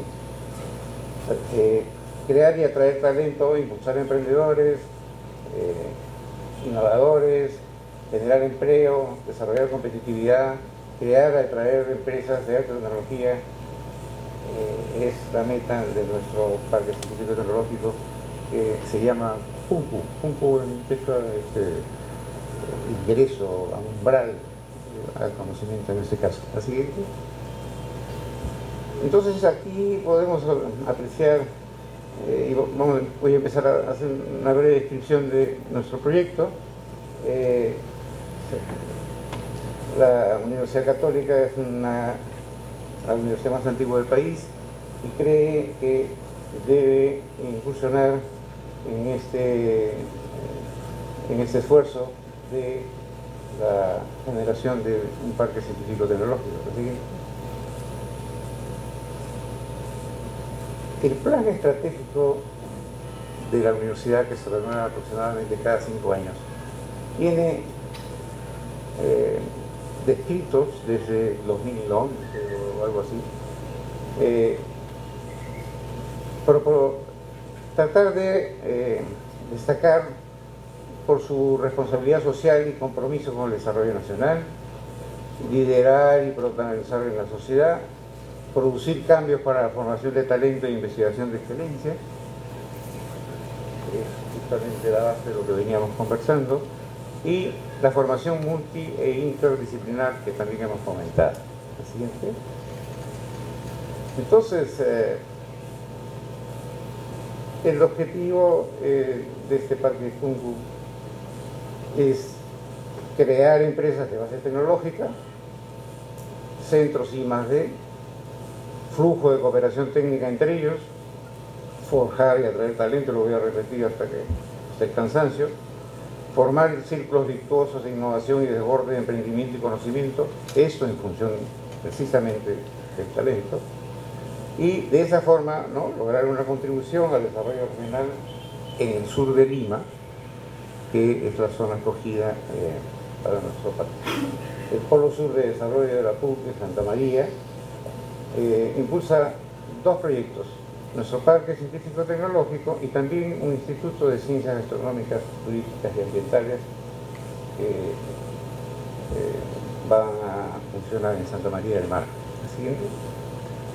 Ahí está el mapa al medio de Santa María del Mar, el, punto rojo sur es la ubicación del Parque Científico Tecnológico y el instituto es el otro eh, punto rojo está colocado al borde de la carretera Panamericana Sur, que son estas dos líneas que ustedes ven acá a la derecha. La siguiente. El Parque Científico Tecnológico eh, fue nombrado proyecto de interés nacional gracias a un decreto supremo que se construyó en la época del presidente Humala, eh, gracias a una gestión de eh, el Concitec y que nos ha permitido verdaderamente lograr eh, a, menor plazo la,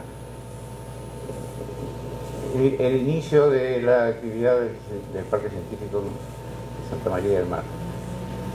Eh, nuestro proyecto es crear un lugar de interacción del Estado, Academia y Empresa, como, como, sucede en todas partes del mundo, generar ecosistemas de jóvenes interdisciplinares y diversos.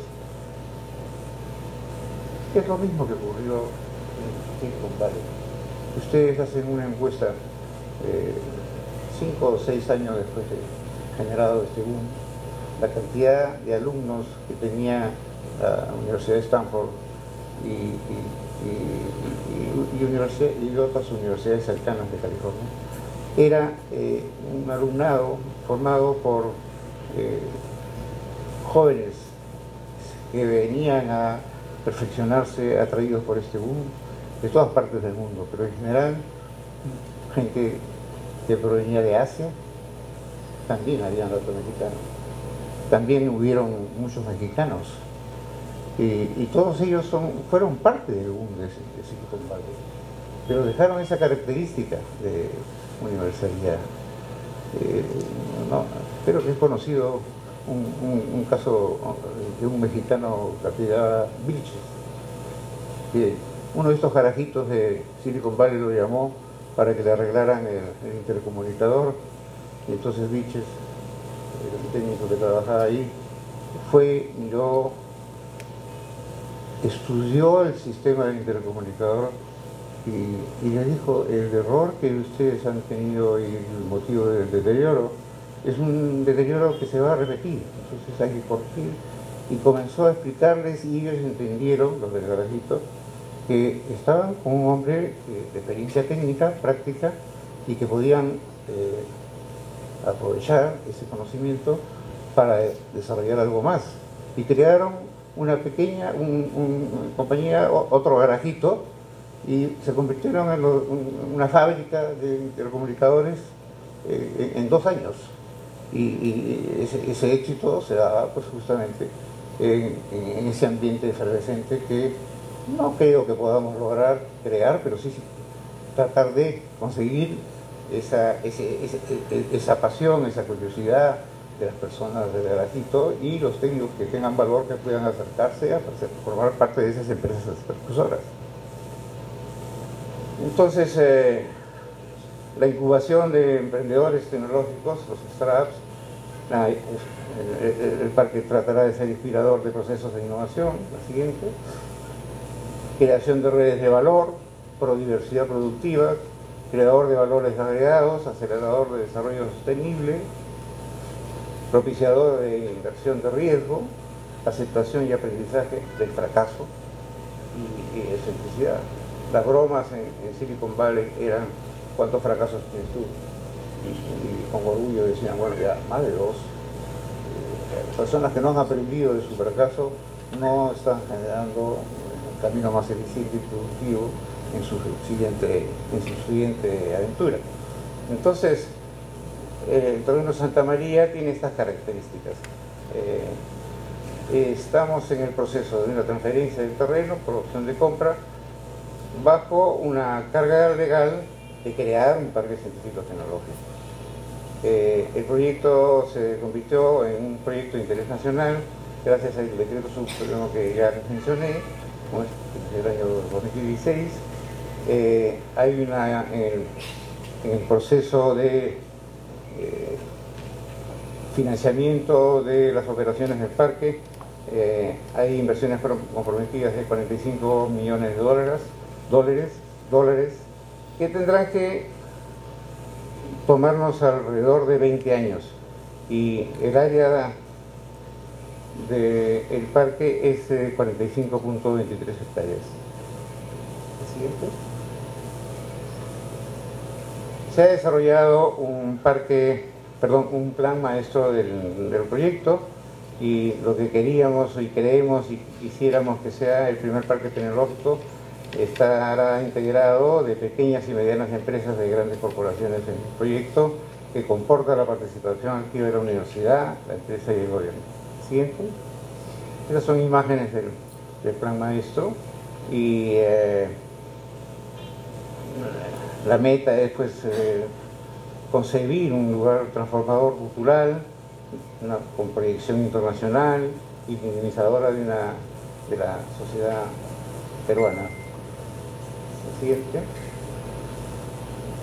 El parque estará sectorizado, estas son las 45 hectáreas, eh, en los grupos de infraestructura de I más D, que es la letra A, eh, la letra D es eh, las infraestructuras y servicios generales del parque, y las H y C son terrenos para instituciones de empresas de alta tecnología que mm, sean como anclas de desarrollo, o sea, las más grandes, y las C, que son más bien para edificios que pudieran compartir o parcelas que se puedan compartir con, para pequeñas empresas y eh, otro, otro tipo de, de, de, de necesidades por la dimensión de las mismas empresas tecnológicas. Eh, la, el sector D es un, sector de amortiguamiento y el E está dedicado a proyectos futuros, eh, básicamente de energías renovables. Y esto es simplemente, y con esto termino creo, eh, un, una planificación por fases de cómo van a ir desarrollándose estos edificios compartidos y donde una empresa de mediana eh, dimensión, pudiera, por ejemplo, alquilar oficinas eh, según sus necesidades y, y en las áreas que les acabo de explicar, de cómo se pueden ir vendiendo las parcelas para las empresas de mayor envergadura. Creo que terminado. Muchas gracias por la atención.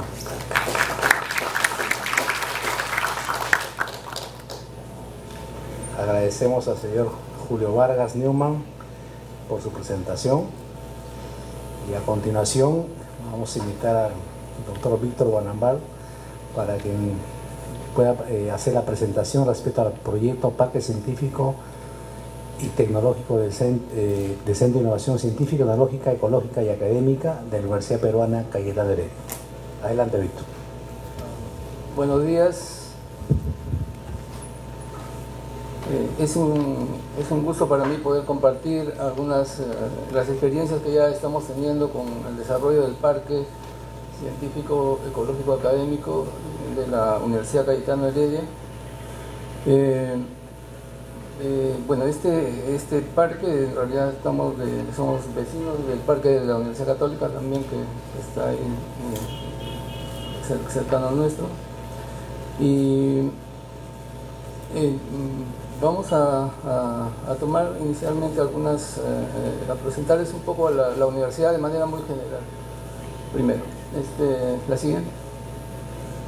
La, la Universidad Cayetano Heredia fue fundada el 22 de septiembre del 61 como Universidad de Ciencias Médicas y Biológicas, pero desde su inicio eh, ha apostado por la formación eh, superior eh, y la investigación científica de calidad.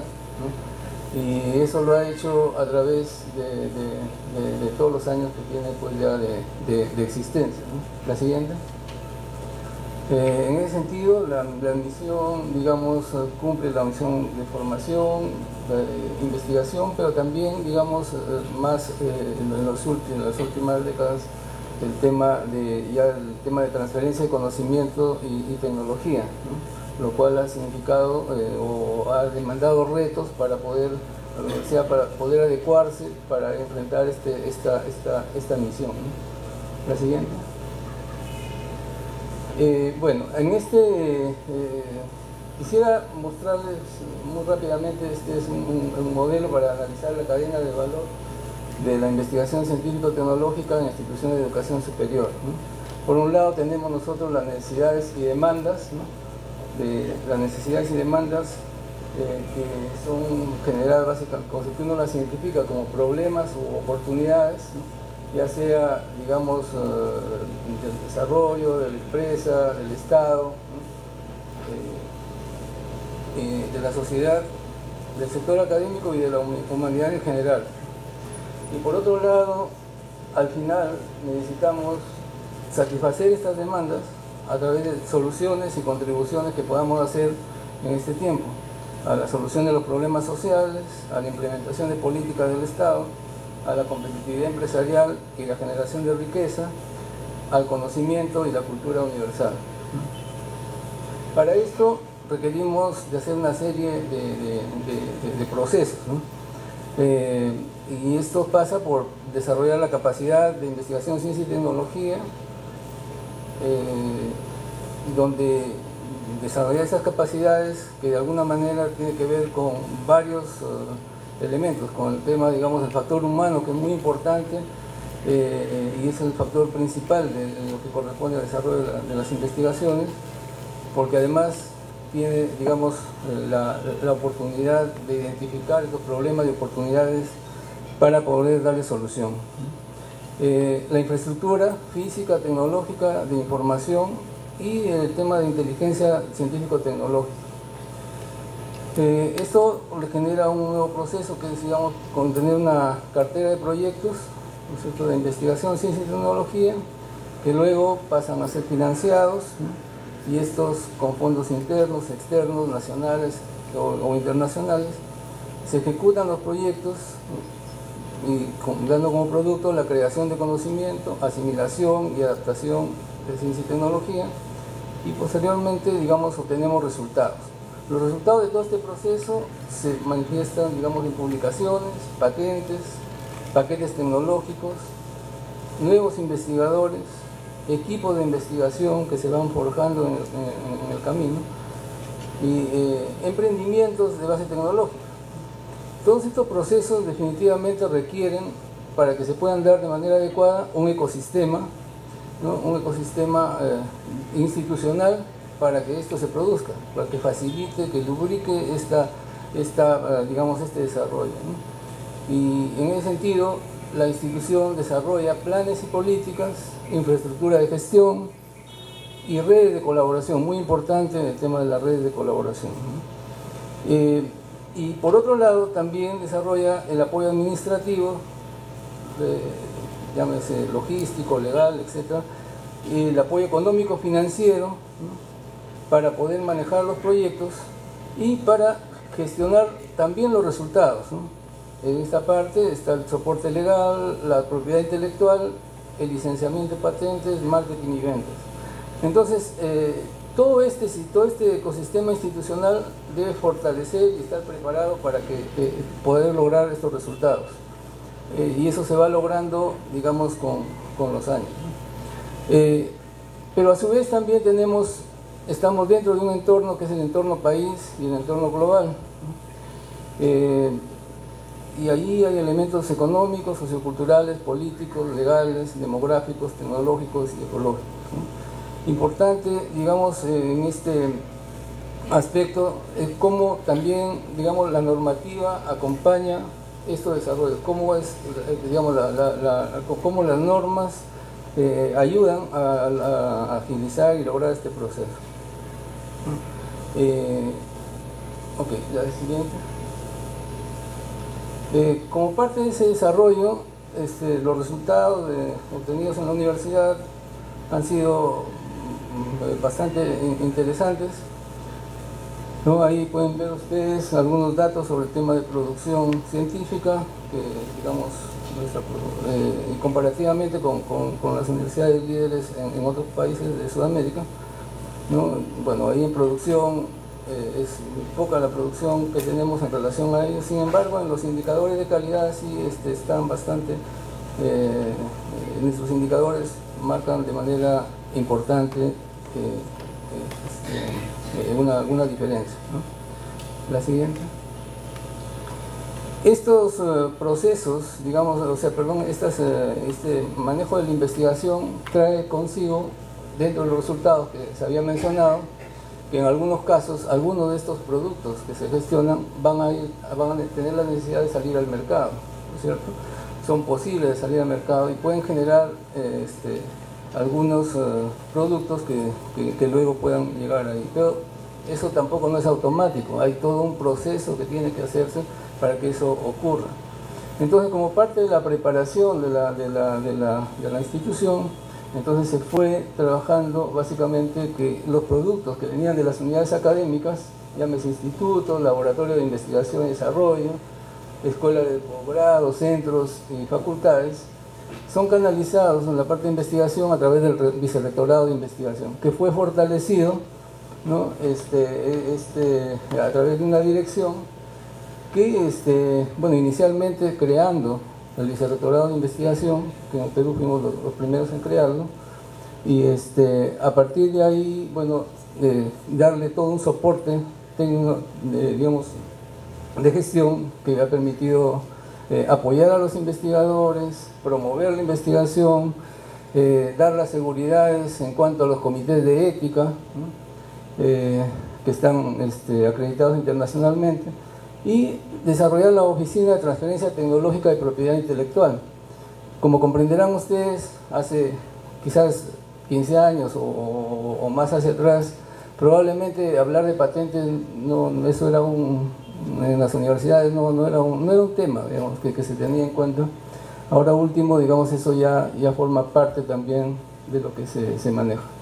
Entonces, ahí en, ese, en esa línea de estos productos de investigación, entonces se pueden hacer trabajos a nivel de laboratorio, a nivel experimental, se puede llegar a nivel piloto, pero también había necesidad de tener espacios un poco más grandes para el tema de escalamiento, ¿no es cierto? Es decir, ¿cómo hacemos que, digamos que estos, eh, eh, estos productos de la investigación puedan eh, llegar, llegar al mercado? ¿Y cómo es que nos preparamos para que eso pueda ocurrir?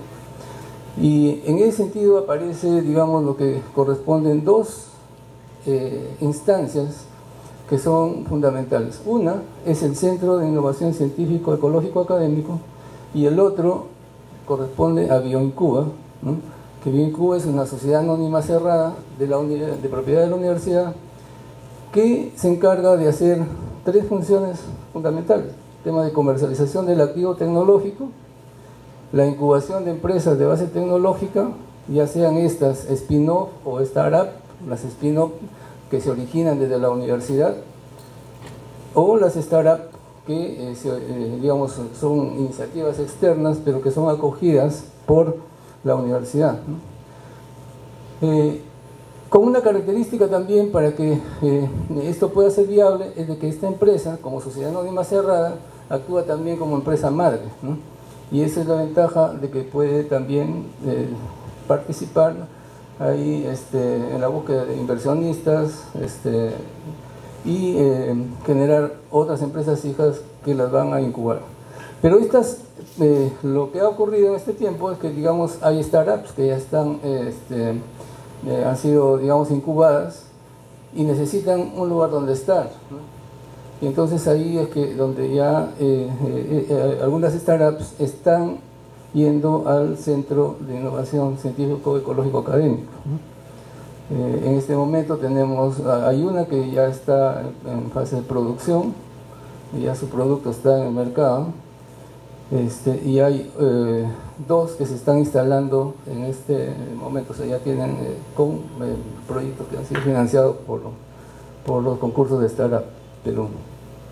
Y la otra línea era la de producción y comercialización porque digamos algo que, era potencialmente eh, vendible no podía llegar al mercado y se podía, eh, eh, digamos, este, había la posibilidad de desarrollar este, estos bienes o servicios y llevarlos en pequeña escala al mercado y ir probando si es que esto puede tener éxito en, el mercado. Y entonces, básicamente, esos son las, las, los, elementos, digamos, de, que funcionan en esto. Eh, el Centro de Innovación Científico Ecológico Académico, entonces ahí trabaja fundamentalmente con, eh, eh, digamos, contiene al interior unidades de innovación, transferencia tecnológica y servicios, las startups, las spin-off y este, unidades de servicio al emprendedor y al innovador. Este, de hecho, no está desconectado al contrario, tiene que estar muy conectado con todas las capacidades que ya tiene la universidad en todos los ámbitos, ¿no es cierto? Entonces, por ejemplo, ahí eh, y con todas las, redes de relación que ya, ya existen. Ahí ustedes pueden ver algunos que son la red IDI, que es la red de investigación, desarrollo e innovación, donde están las universidades de la Alianza Estratégica, este, Católica, Cayetano, ¿no? eh, y este, también está eh, bueno, el Centro de Innovación del Cacao, el sitio acuícola, la Fundación Cayetano Heredia, que también este, eh, aporta con algunos eh, aspectos de investigación, y bueno, Universidad del Consorcio y toda la red de convenios que tiene la, universidad. Eh, la siguiente.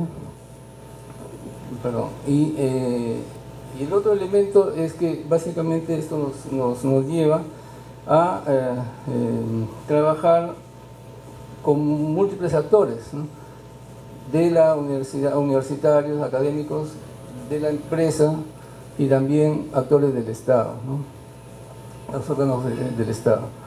Algunos productos que ya se pueden tener ahora como parte de este sistema, porque eh, esa es la mirada que, hay que darle, me parece, es, un sistema de, innovación, es digamos una digamos, hay 64 eh, startups que han trabajado con Bien Cuba eh, en diferentes partes del, país. O sea, hay empresas de esas, como les digo, hay tres que están en, el parque. La siguiente. Eh, también esto, algunos temas de, propiedad intelectual, ¿no? patentes que se han pedido, etcétera, que como les decía, hace 20 años este, uno no, no, no hablaba de estas cosas, ahora esto es casi una condición. La siguiente. Aprender a trabajar con las empresas, ¿no? ir, este, ir, aprendiendo en cada caso, ¿no? ir, ir haciendo, eh, digamos, eh, para hacer la transferencia tecnológica, para hacer inversión conjunta, etcétera, ¿no? O sea, eh, cómo, cómo negociar con una empresa, etcétera. Todo, todo esto, todas estas cosas generando un clima básicamente de confianza y de éxito mutuo. La siguiente. La misión es potenciar el desarrollo de ciencia y tecnología e innovación en Perú, la preservación del ecosistema, el perfeccionamiento continuo de recursos humanos en campos especializados y proveer diversos productos, bienes y servicios de calidad a la comunidad, directamente o a través de transferencia científico-tecnológica al sector productivo participando de manera activa en el desarrollo local, regional, de manera sustentable e inclusiva. Eh, esto básicamente nos lleva a tres puntos fundamentales. como espacio promotor y generador de capacidades para el desarrollo de ciencia, tecnología, innovación y emprendimiento. Como plataforma de articulación de unidades académicas, de investigación y eh, también, digamos, con, eh, articulado con el sector estatal, con la empresa y con la sociedad en su conjunto. Y por otro lado, digamos, con un rol importante, digamos, que constituye, que se constituye un modelo de parque de innovación que articula, se articula con los actores locales como socio estratégico para ciertos temas. En el caso nuestro, salud, educación, hábitat, medio ambiente eh, y este, economía social y productiva. Básicamente, este, ese es son, los, son los elementos que hemos eh, priorizado. La siguiente. Eh, no voy a insistir, ya, ya las definiciones las han visto. La siguiente, por favor. La visión es ser el complejo de ciencia y tecnología líder en Latinoamérica por su compromiso con la vida y su conservación, fuente de inspiración de científicos y emprendedores comprometidos con el desarrollo nacional y la proyección del Perú en una dimensión global. Ustedes pueden ver ahí en los mapas lo que se representa básicamente es que eh, se ha definido un área de influencia del territorio. El área de influencia, este, digamos, el parque está en Santa María del Mar, pero Santa María del Mar tiene una población muy pequeñita. Este, nuestras áreas de trabajo son fundamentalmente este, el área, eh, digamos, de la salud, etcétera, entonces, y por lo tanto, la población es muy importante. Entonces, hemos definido un área de, impacto, digamos, de, local donde vamos a medir eh, lo que lo que pasa con el parque en esos 12 distritos que van de Durín, Pachacamac hasta Malacalango, con un total de 210 mil personas, donde ya uno puede encontrar muchas cosas eh, y hay muchas empresas. Este, entonces, por otro lado, trabajar con dos gobiernos regionales, Lima y Lima provincias. Eh, nuestra ubicación es prácticamente, estamos si cruzamos la pista de la Panamericana ya estamos en Lima provincias, o sea, estamos justo entre los dos. Hay un, un, tema así. Y, hemos definido también a nivel de, digamos, ya de estas dos regiones, lo que es el tema de biotecnología y salud a nivel nacional y algunos elementos de salud global, energía y agua que podrían ser más para un desarrollo global. En otras palabras, este es un espacio de articulación. Lo que vamos a ver ahí es, eh, las cosas que van a aflorar no son, eh, digamos, necesariamente de cada una de las disciplinas. Prácticamente ahí ese esquema se rompe. Y, no solo es multidisciplinario, es interinstitucional, ¿no es cierto? Eh, y lo que va a aparecer es diferente, tiene una potencia mucho mayor. Este, ese es el, área de terreno, digamos, de, manera general. Ahí se han delimitado algunos, um, algunos eh, dentro del plan maestro, son estas, uh, son estas áreas, cada una está con colores. la siguiente, por favor. Y ahí podemos ver, ¿no? hay una zona de innovación empresarial, una zona académica, una ciudadela de eh, salud, una zona cultural y una zona de investigación y desarrollo y eh, la parte de atrás, básicamente que no se nota muy bien ahí, es eh, todo lo que es la parte, digamos, de hábitat y medio ambiente. La siguiente. Eh, esto, digamos, es el, digamos,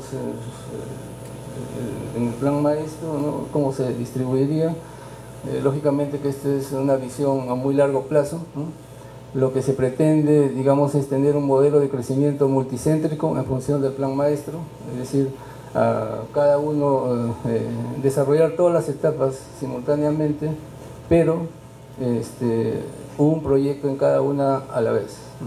De esa forma, este, el crecimiento luego se da de manera eh, multicéntrica. Ahí donde ven las estrellitas son los puntos donde se trabajarían los primeros proyectos, o sea, es decir, al 2021 esperamos de que eso pueda existir, porque prácticamente con eso tendríamos este, operativo el parque tal cual la concepción que se tiene.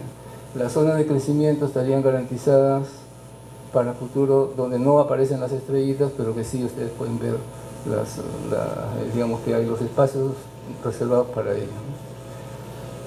Eh, la siguiente. Más, ahí. Eh, bueno, a, lo largo del, de, digamos, eh, como idea apareció esto en el año 2002, pero poco a poco ya fue consolidándose. En el año 2005 se colocó en el plan estratégico, algo anecdótico que pusimos el proyecto con un presupuesto de cero soles. Solo teníamos la idea y había que, empezar a, avanzar en, esa línea.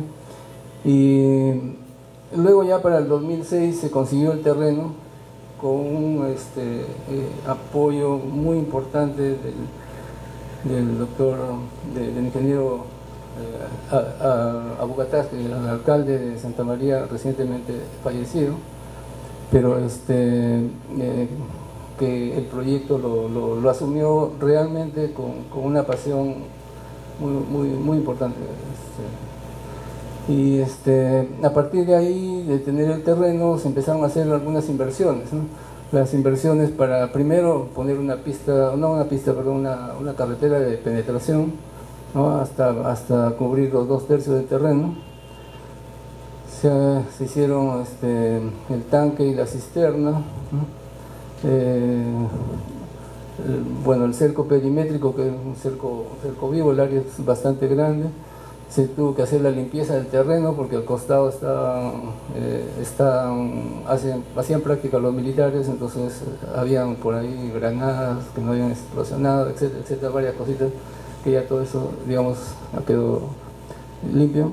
Y este, luego ya se, con un proyecto se generó el primer laboratorio, eh, se puso también ya la, luz, este, y, luego ya se ha este, eh, desarrollado un par de aulas que ahora las hemos tenido que convertir prácticamente ya en, en, las áreas de las startups. Eh, y luego este, también se hizo la, la, prefactibilidad, el estudio de prefactibilidad. Eh, en el año 2014 hay dos proyectos, la prefactibilidad de dos proyectos, del este, Instituto de Investigación de Adicciones y el, eh, y del Instituto Superior Tecnológico. Eh, el 2006, eh, perdón, eso fue el 2006. Luego, el 2017, este, ya este, empieza, empezó a funcionar la primera, se instala y empieza a funcionar la primera startup, se llama Enjus. Ellos producen un jugo natural que tiene un tiempo de duración sin conservantes mayor al, normal. O sea, siempre en los proyectos de las empresas hay algo tecnológico, hay algo de investigación detrás que las soporta. Y bueno, y ahora hay dos startups más. Bueno, estamos lejos, ahí, ahí al costado derecho, en la parte inferior, ahí está la, foto del Silicon Valley, definitivamente estamos lejos, pero si nos damos cuenta desde el punto de vista de lo que ha ocurrido en la dinámica social, por ejemplo, también ahí está ahora la, estamos nosotros, está la Universidad Católica, me parece que también, este, bueno, ahí está Senami, eh, hacia dos kilómetros hacia, hacia el sur hay un, eh, lotizaron un parque industrial que ahora prácticamente casi todo está vendido. Este, y, es decir, se va moviendo el, ambiente y yo creo que eh, eh, es un lugar, me parece bastante adecuado, que con el tiempo lo vamos a, valorar más. La siguiente. Bueno, como comprenderán ahí, y de la cantidad de, de, proyectos que pueden entrar acá son muchos. Son muchos proyectos. Este, eh, pero básicamente los grandes proyectos, los, ejes son por el lado de promueve, innova, incuba y produce. Entonces estas unidades deben ir generándose a lo largo, digamos, del tiempo. Y este, como les digo, el crecimiento va a ser multicéntrico, no, no vamos a concentrar necesariamente el esfuerzo en un solo proyecto, sino en varios proyectos a la vez, aunque en pequeña escala, pero que en conjunto producen el impacto que se espera. La siguiente. Bueno, acá es una reunión que hubo el año, creo que es el 2013, me parece. Este, eh, están investigadores, pero también hay eh, autoridades locales que, nos acompañaron. La siguiente. Bueno, ese es algunas, algunas cosas, la época de la inauguración, algunos eh, elementos que ya hemos ido alterando el ambiente un poco con, con, las digamos, nuevas especies que están llegando a esa zona. Eh, algunas visitas que hemos tenido. La siguiente. Esta es la entrada y ahí tienen, digamos, eh, hacia la derecha la participación de esta startup en, un evento en Santa María del Mar, ofreciendo sus, sus productos, los jugos naturales. Ah, entonces hay tres startups, un spin-off y un proyecto de intercampus. Ese proyecto de intercampus es con la Universidad de San Marcos para estudiar la hidatidosis y eh, este, que está ubicado en la parte, eh, digamos, posterior. Siguiente. Eh, mm, algunas fotos de los laboratorios, ¿no? La, eh, y el frontis de los laboratorios, la parte interna. La siguiente. Bueno, este es el centro, digamos, de, de estudios de que están en este momento estudiando yatidosis y ahí están algunos de los primeros habitantes. La siguiente. Eso es, digamos, lo que, lo que tenemos ahora, básicamente. Eh, todavía, eh, no sé si podemos pasar, hay dos. la siguiente. ¿Más? La siguiente.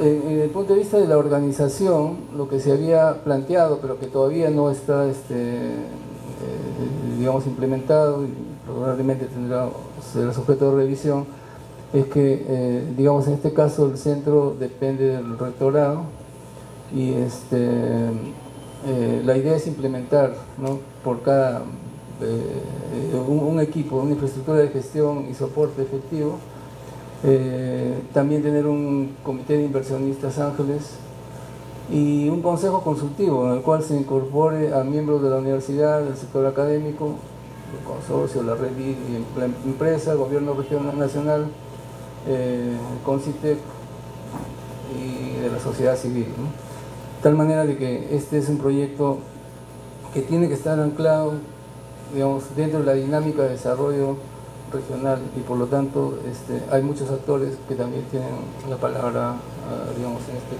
tendrían la palabra en este consejo eh, consultivo que se, se podría formar.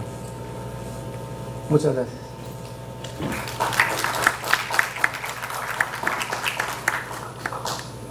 Agradecemos al doctor Víctor Guanambal por su presentación. Y a continuación vamos a tener eh, la presentación del señor William Ipanaque. Él es vicepresidente del Grupo Estratégico Regional de Ciencia y Tecnología de Piura por la Universidad de Piura. Y va a, exponer los avances de la Agenda Regional de Innovación en Piura. Bien, agradezco la invitación a este foro eh, organizado por el CONCITEC y por la Comisión de Ciencia, Innovación y Tecnología del Congreso de la República. Eh, esta presentación tiene un contexto en el, ámbito del foro porque eh, consideramos que en, en, Piura estamos trabajando eh, con una visión compartida, por eso lo que voy a presentar, yo trabajo en la Universidad de Piura, pero lo que voy a presentar no es un proyecto solamente de la Universidad de Piura, es un proyecto en el cual está involucrado la Universidad Nacional de Piura, la doctora, la doctora Rosaluz Benítez está aquí presente. Ella es asesora del doctor César Reyes, rector de la Universidad Nacional de Piura. Está también aquí eh, Gerardo, que junto con Pedro Mendoza nos acompañan. Ellos trabajan en el gobierno regional y hemos trabajado juntos este proyecto y también está involucrada la Cámara de Comercio de Piura y estas instituciones han trabajado este proyecto subvencionado por el CONCITEC, que nos parece que es un proyecto interesante, son dos proyectos que el CONCITEC ha empezado como punto de partida, el nuestro y el de Arequipa, y el parque que era como un, digamos, un componente de, este, de esa estrategia de crecimiento que le hemos llamado estrategia de crecimiento sostenido e inteligente en nuestra región Piura.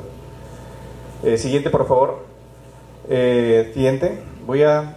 Eh, bueno, creo que como estamos en Perú todos conocen la ubicación de nuestra región. La siguiente. Este, tenemos como punto de partida que ya hemos tomado en cuenta el tema, el tema de, de innovación, desarrollo y tecnología, perdón, innovación en eh, ciencia, innovación y tecnología, y es un tema que se está trabajando en el país a nivel nacional desde hace muchísimos años y en los últimos 10 años creo que ha habido un empuje fuerte, ¿no? Entonces, también en, el, en la región Piura, en el plan de, eh, de estratégico de crecimiento de nuestra región, también hemos metido el componente de innovación. Siguiente. Y, y, en, y esta agenda está incorporada en el Plan Regional de Desarrollo Concertado. De hecho, el encargado de, llevar este tema por la región Piura, eh, el economista Tito Aguilar, ha formado parte también del comité técnico que ha desarrollado esta, este proyecto. Eh, primero algunas ideas generales eh, que, que, bueno entender la conceptualización del, del por qué esta esta estrategia regional de especialización inteligente. Entonces, creo que en todos los países emergentes tienen un factor común, que es el desarrollo del país o de, la o de la región ha sido un desarrollo consensuado. Y en los países, sobre todo, eh, ha habido un tema de descentralización, en el cual en el Perú creo que aún nos falta por recorrer, pero es una demanda que aparece en, en publicaciones indexadas como las que tenemos aquí, ¿no? Entonces, el tema de descentralización de los recursos y de la gestión es un tema es un reto que tenemos aún en, nuestro país. Saber que las regiones son heterogéneas, dentro de Piura inclusive las provincias son heterogéneas entre sí. Siguiente. Esto es un indicador, por ejemplo, que muestra los proyectos de Innovate Perú, el primero del Perú, cómo están distribuidos los diferentes proyectos, en qué disciplinas. La siguiente muestra Lima, observen las prioridades, el número. La siguiente es Arequipa, ¿no? Y la siguiente es Piura. Entonces, conclusión que las regiones tienen, no necesariamente compartimos las mismas prioridades y los sectores económicos que, digamos, en las cuales son prioritarios o, son especializadas son diferentes. Entonces, eso es importante entenderlo y por eso es que creemos que, el de, que esas agendas regionales de especialización inteligente se deben desarrollar en nuestro país y que esto quizá pueda constituir el inicio de una estrategia porque el pretender poner prioridades en todo el país es como querer vestir con una misma camisa, un mismo vestido, de una misma talla a todas las regiones. Y tenemos contextos diferentes. Esta lámina, por ejemplo, ilustra la importancia de, del desarrollo regional. Ahí hay tres situaciones. El primero me parece que es Polonia, ¿no? que ha adoptado una estrategia inteligente y efectivamente Polonia hace unos 15 años no tenía mucho impacto y hoy en gracias a las estrategias basadas en I+D más I, ya ese es un país que está creciendo mucho. En la parte derecha hay un crecimiento en, digamos, en, los recursos económicos de una región como es Almería, que es una región al sur de España, en la cual demuestra un crecimiento eh, localizado regional que hace Almería hace apenas 30 años era una de las zonas más pobres, no solamente de Europa, sino también de España mismo, y hoy es el pulmón agroindustrial de esa zona europea, gracias justamente a este tema de crecimiento unido. Y en la parte inferior tienen ustedes una cosa interesante, porque es un mismo país, yo creo que para nosotros es indiscutible que Estados Unidos es un país desarrollado, innovador, etcétera, ¿no? Entonces, pero dentro del mismo Estados Unidos hay zonas que no tienen eh, ni siquiera la media de crecimiento o de empleo o de desarrollo de otros, de otros estados dentro del mismo Estados Unidos. En ese gráfico se ha querido mostrar eh, los salarios de los egresados Y hay muchas diferencias entre unos estados y otros. El, el que está con estados más favorables es aquellas, son aquellas zonas en las cuales la academia, la empresa y los gobiernos públicos han trabajado de manera en conjunta con políticas con una visión compartida. Mientras que en otros estados efectivamente se nota una diferencia muy fuerte, inclusive en estos estados es casi comparable con un país latinoamericano. Siguiente. Entonces, eso nos hace ver pues que para nuestra región, nuestra en Piura, nos preguntamos hoy, ¿será posible eh, hacer un, un, un, proyecto en el cual veamos a nuestra región Piura un crecimiento sostenido basado en el I más D más I? Entonces, esto es la idea, la metodología que se, que se ha seguido, la metodología RIS-3, que es una metodología reconocida por la OCDE como un paradigma en generación de políticas de innovación. Siguiente. Es una metodología participativa, eh, se, ha, se, ha, tratado de involucrar a todos los estamentos, instituciones de la región. Siguiente.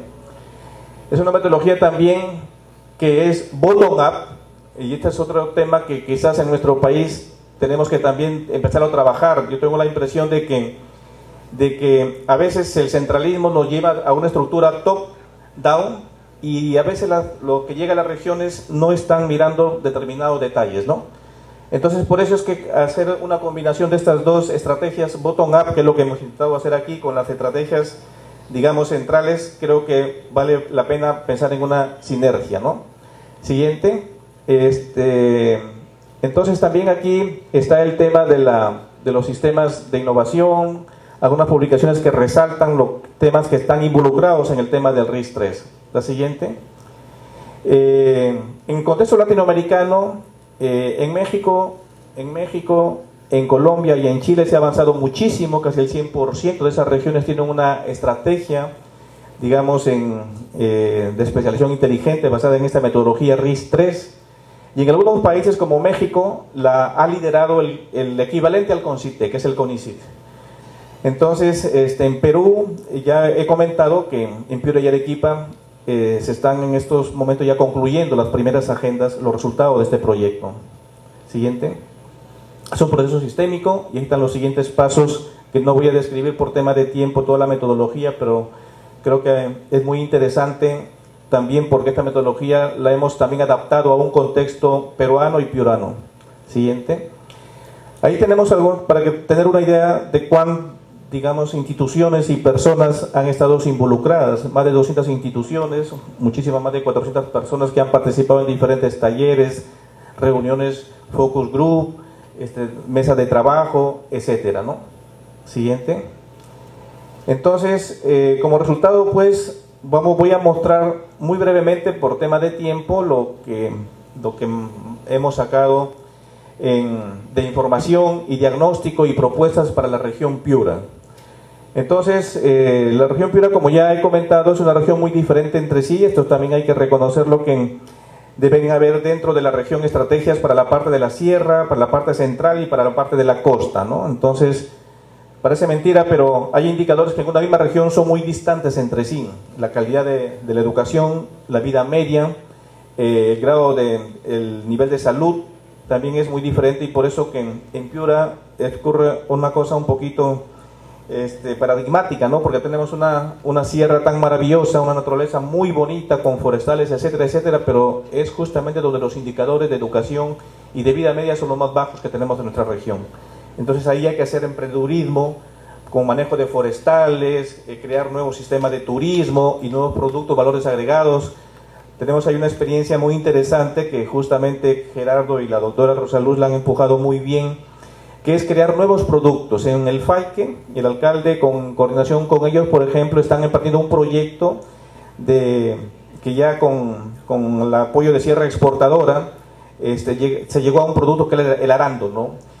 Y es bien interesante esto porque nos permitió conocer cómo a veces los escasos recursos que tenemos en el país y en las regiones no se les optimiza en su uso. El alcalde tenía otra idea de hacer prácticamente productos tradicionales y le dijimos, ¿por qué no evalúas en tu zona qué otros productos nuevos, innovadores se pueden hacer y que quizás por las condiciones climáticas con que tienes te puedan dar mayor valor agregado y mayor ganancias también, ¿no? Por lo menos innovar en ese sentido, ¿no? Y efectivamente este, se habló con cierres exportadoras, se puso un técnico, se armaron unos talleres y al final salió aclarando era un, un producto que podía cambiar también el escenario de los cultivos tradicionales en esa zona. Siguiente. Una cosa que también en Piura y en el Perú creo que hemos progresado mucho es, están ya unos indicadores que hacen ver que el país avanza, aunque nos quedan muchas brechas como lo vamos a ver. Uno de estos son las indicaciones en Scopus, en el país hemos avanzado mucho. Siguiente. Eh, ahí tenemos también las publicaciones Scopus que en, en nuestro país y en Piura también se han evolucionado bastante y los campos en los cuales están direccionadas. Siguiente. Ahí tenemos también el número de proyectos a nivel nacional. Piura, según la estadística del año, está en segundo, tercero, cuarto lugar. Es una de las regiones que digamos que eh, tiene un cierto dinamismo en captación de recursos públicos ante Innovate Perú y entre el Concitec. Siguiente. También las publicaciones, Scopus a nivel país aquí están por, por, este, por regiones. Lima lidera por la, la cantidad de gente que vive en la capital pero también quisimos hacer un ejercicio de dividir el número de publicaciones entre el número de investigadores, la siguiente, y Piura también tiene una posición expectante en este indicador, ¿no? lo cual hace ver que en otras regiones, al igual que Piura, como Arequipa, La Libertad, también se está empezando a formar una masa crítica interesante. Siguiente. Otra cosa que yo quiero recalcar porque yo creo que en el país estamos en un proceso, en un proceso interesante. El primer cuadro refleja las publicaciones, el cuadro amarillo, la barra amarilla, son las publicaciones no indexadas, creo que es el año 2014. Y el cuadro que está en guinda, en rojo, son las publicaciones indexadas. Al año 2017 se ha invertido totalmente la... Yo creo que estos resultados es resultado también de las políticas y la promoción de los últimos años que, se ha tenido a través de Innovate Perú y el Concitec, ¿no? que ya hay una preocupación en mejorar los indicadores, de, en este caso de publicaciones. Creo que hasta siete años se hablaba en el Perú Scopus y nadie sabía qué cosa era Scopus, nadie, poca cultura en tu universidad sabía de qué cosa era una revista indexada y hoy ya estas políticas que se están empezando a implementar en nuestro país ya empiezan a dar resultados. Y en Piura, esto es el gráfico de Piura, ¿no? Como en Piura también hemos dado la vuelta y se, y se ve el, el efecto de estas políticas. Siguiente. Entonces hemos sacado las brechas también, esto es un ejercicio que nos ha costado, ha costado muchísimo trabajo, a través de encuestas, entrevistas, visitas, se han sacado las brechas en, en, algunos sectores como son agricultura y agroindustria, pesca y acuicultura, el turismo y también brechas en capital humano, brechas tecnológicas, brechas sociales, eh, brechas en emprendedurismo. Entonces aquí solamente por limitación de tiempo voy a mostrar algunas de ellas. Siguiente. Estas son en innovación en el cultivo, por ejemplo, tenemos diferentes aspectos que se han evaluado y eso nos permite saber, digamos, dónde, dónde necesitamos enfocar, digamos, las diferentes tecnologías, las diferentes capacitaciones, ¿no? La siguiente. Aquí está, por ejemplo, en procesos, en las plantas industriales, también qué brechas tenemos en, en, los, en los, productos, en las cadenas. Vemos que el tema de productividad eh, para Piura es un reto muy grande que tenemos. ¿no? Piura es una región que a nivel de, económicamente hablando, es la cuarta economía del país pero a nivel de productividad estamos a la mitad, en el puesto 10 u 11 más o menos. Entonces la productividad es, hay que mejorarla y eso es con tecnología de la automatización, etcétera, ¿no? Internet de las cosas y otras nuevas tecnologías. Hemos, hemos evaluado también las brechas de innovación tecnológicas, las tecnologías facilitadoras y ahí vemos que por los sectores prioritarios de Piura, la biotecnología es fundamental porque es la base tanto para la agricultura como para la agroindustria y la pesca y la acuicultura. Entonces, en el tema de productividad también el tema de la automatización o las tecnologías que ayudan a incrementar la productividad es un tema importante y también las TICs, ¿no? Siguiente. Ahí también en capacitación, este es un punto importante. Este, los que me han precedido creo que me han gustado mucho las presentaciones porque en este foro noto entusiasmo pero también realismo. ¿no? Uno, de estas, uno de los temas que me parecen fundamentales es el tema del capital humano. Entonces, porque claro, si no la gente no está bien formada, no, está, no tiene la adecuada, digamos, formación para poder emprender innovaciones reales, este, empresas de base tecnológica de real impacto, etcétera, etcétera, este, podemos digamos, este, cometer eh, errores y ese tema me parece que, que hay que empujarlo eh, un poco más. Después voy a, voy a hablar sobre este tema también. De igual manera, en la capacitación y en la formación, siguiente. Este es otro punto interesante que en Piura lo discutimos mucho. El sistema de gobernanza. Si va a haber una, una especie de dinamismo en nuestra región, ¿cómo se va a gobernar esto? ¿no? Hemos visto bastantes experiencias en Latinoamérica, en Europa también, y evaluamos también el caso Piura, y, la verdad que llegamos a una conclusión, y lo que nos gustó que la conclusión salió de lo, sobre todo las personas más convencidas eran la del gobierno regional, en la cual nos dijeron, ahorita los gobiernos regionales, por lo menos el de Piura, tiene un sistema administrativo lento, todos conocemos la burocracia, y por eso se ha propuesto una gobernanza siguiente en dos fases. La primera es basarnos en un instituto que tenemos en Piura, que es el Instituto Regional, de ciencia, innovación y tecnología, pero en una siguiente fase, quizás la siguiente por favor, montar una agencia o una asociación que trabaje en concordancia con el gobierno regional en cuanto a las políticas regionales de I D I y que sea el ente con un manejo dinámico, responsable, con un manejo muy profesional de la cultura y de las iniciativas I más D más I en la región. Entonces esto es muy importante, ¿no? Este, se ha hablado mucho del Valle del Silicio. Este, ahí, por ejemplo, hay entre 15 y 17 agencias públicas que promueven todo ese ecosistema. Entonces, para Piura hemos pensado en esta fase también por algo eh, que está resumido en este esquema. Siguiente. La visión compartida, entonces este, hay una visión que también está resaltada en un documento, estamos ya en fase de impresión final. La siguiente. Eh, siguiente, aquí pasamos rápido porque va de uno, de uno en uno. Nosotros hemos establecido varios objetivos estratégicos y estos objetivos estratégicos se, se transforman en, en, unos ejes de actuación. ¿no? Entonces ahí tenemos el capital humano, la, la, la gestión del cambio climático, eh, las prioridades que estamos estableciendo en, la, en emprendedurismo. Siguiente.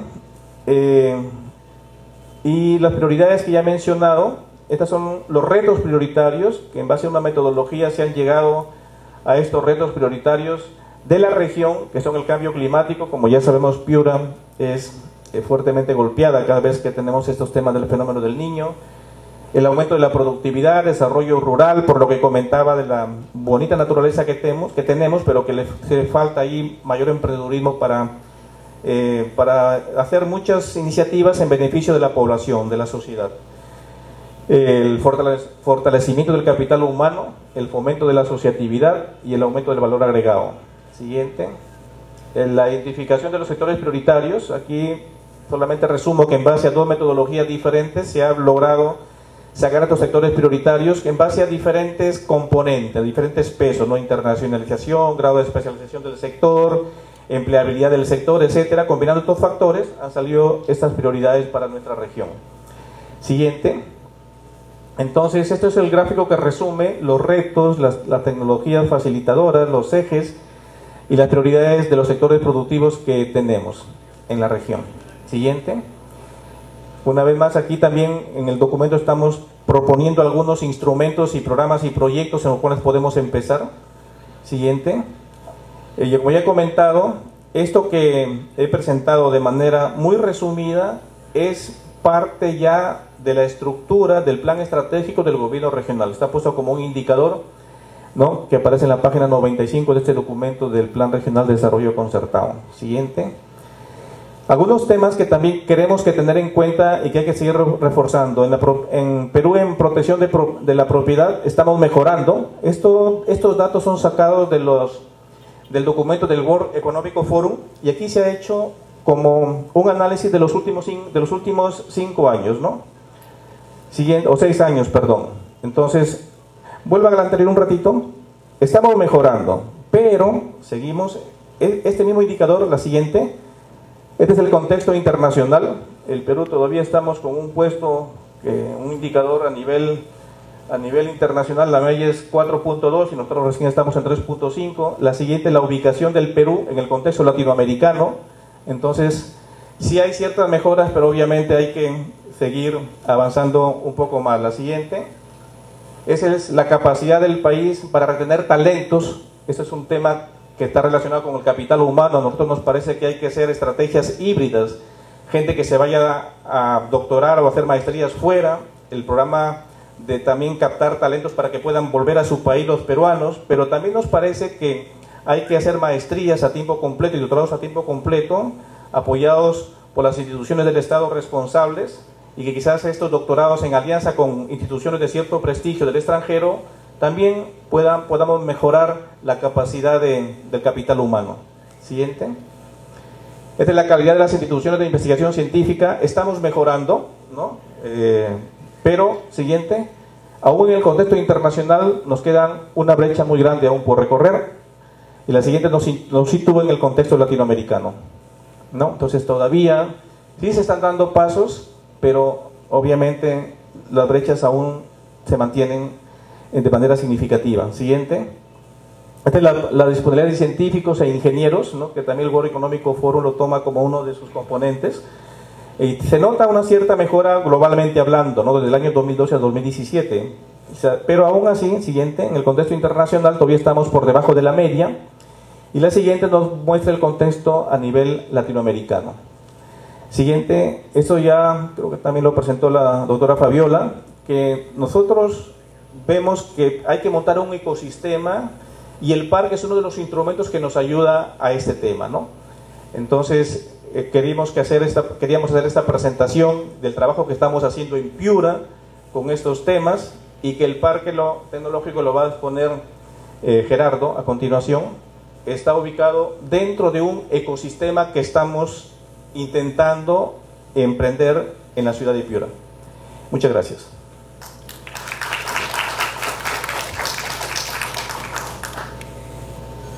Agradecemos al señor William Panaqué y para finalizar esta presentación el día de hoy vamos a recibir al señor Gerardo Acuña.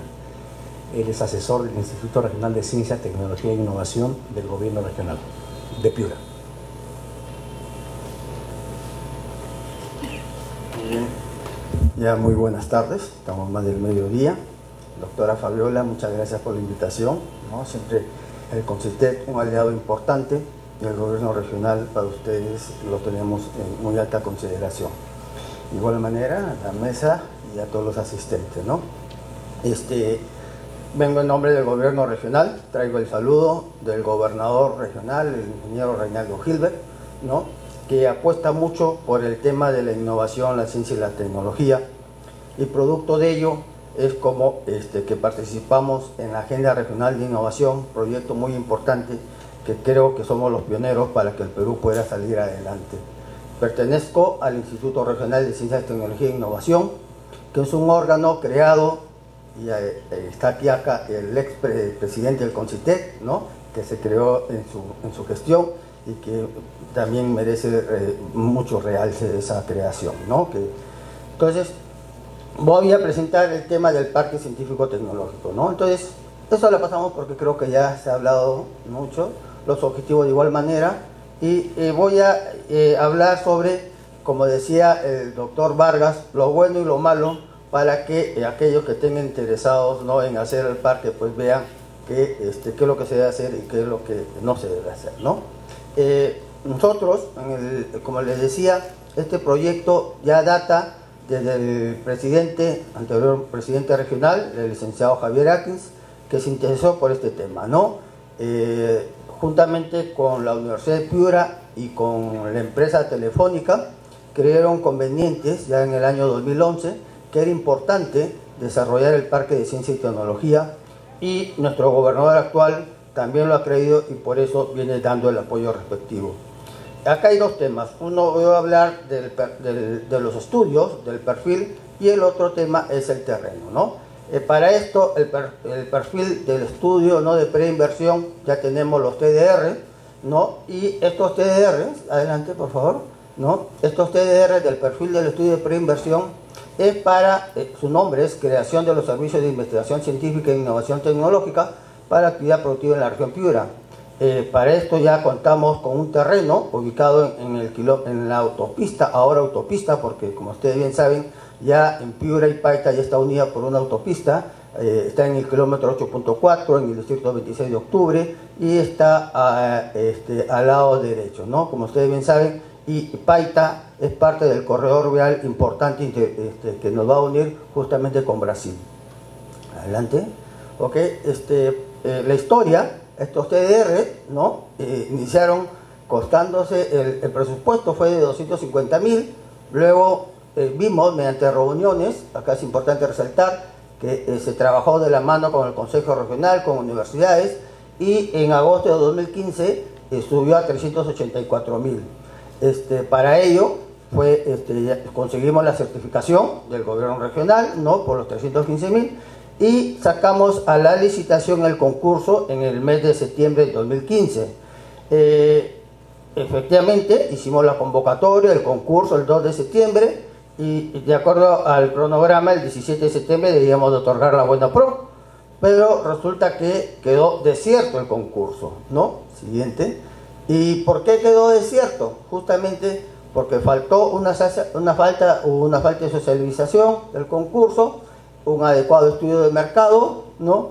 Y creemos que, este, y no se presentaron porque eh, eh, es, así, eh, no hay consultores nacionales, ¿no? En, este tema. Y debimos, y este concurso, para ya la siguiente ya sabemos que debemos de ser, de internacionalizarlo, ¿no?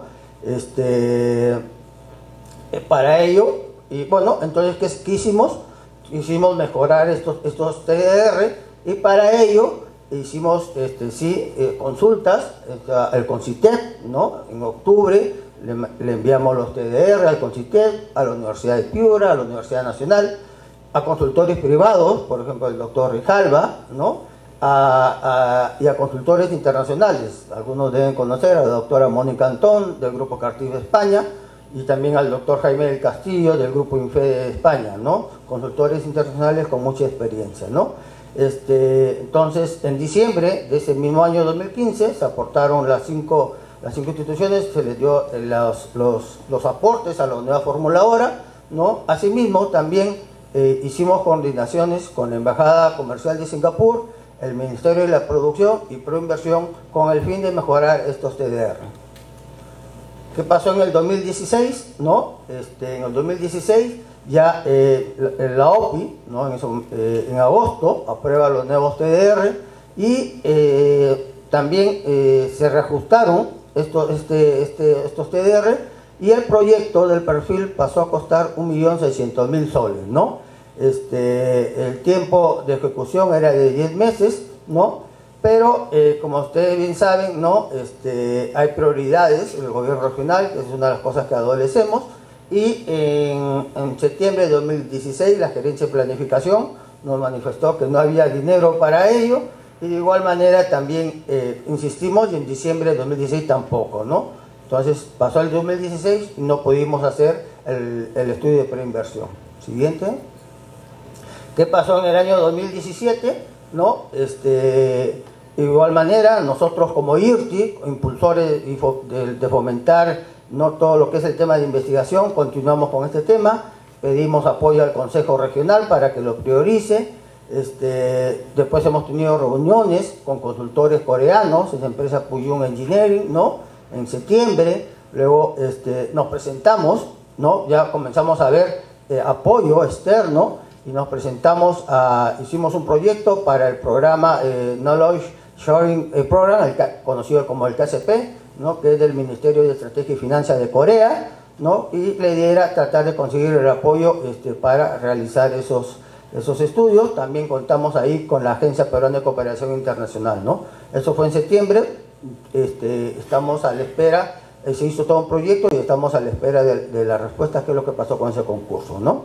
También este, nos acercamos, ¿no? nos acercamos a la Universidad Técnica de Loja, para eso una delegación de la Comisión de Inversiones de Piura viajó a la Universidad Técnica de Loja, donde hay, está avanzado el tema de IMA-DEMASI, ¿no? y después ellos vinieron a Piura y tuvimos un encuentro ¿no? para ver cómo podíamos trabajar de manera conjunta en alianza este eh, proyecto. Siguiente.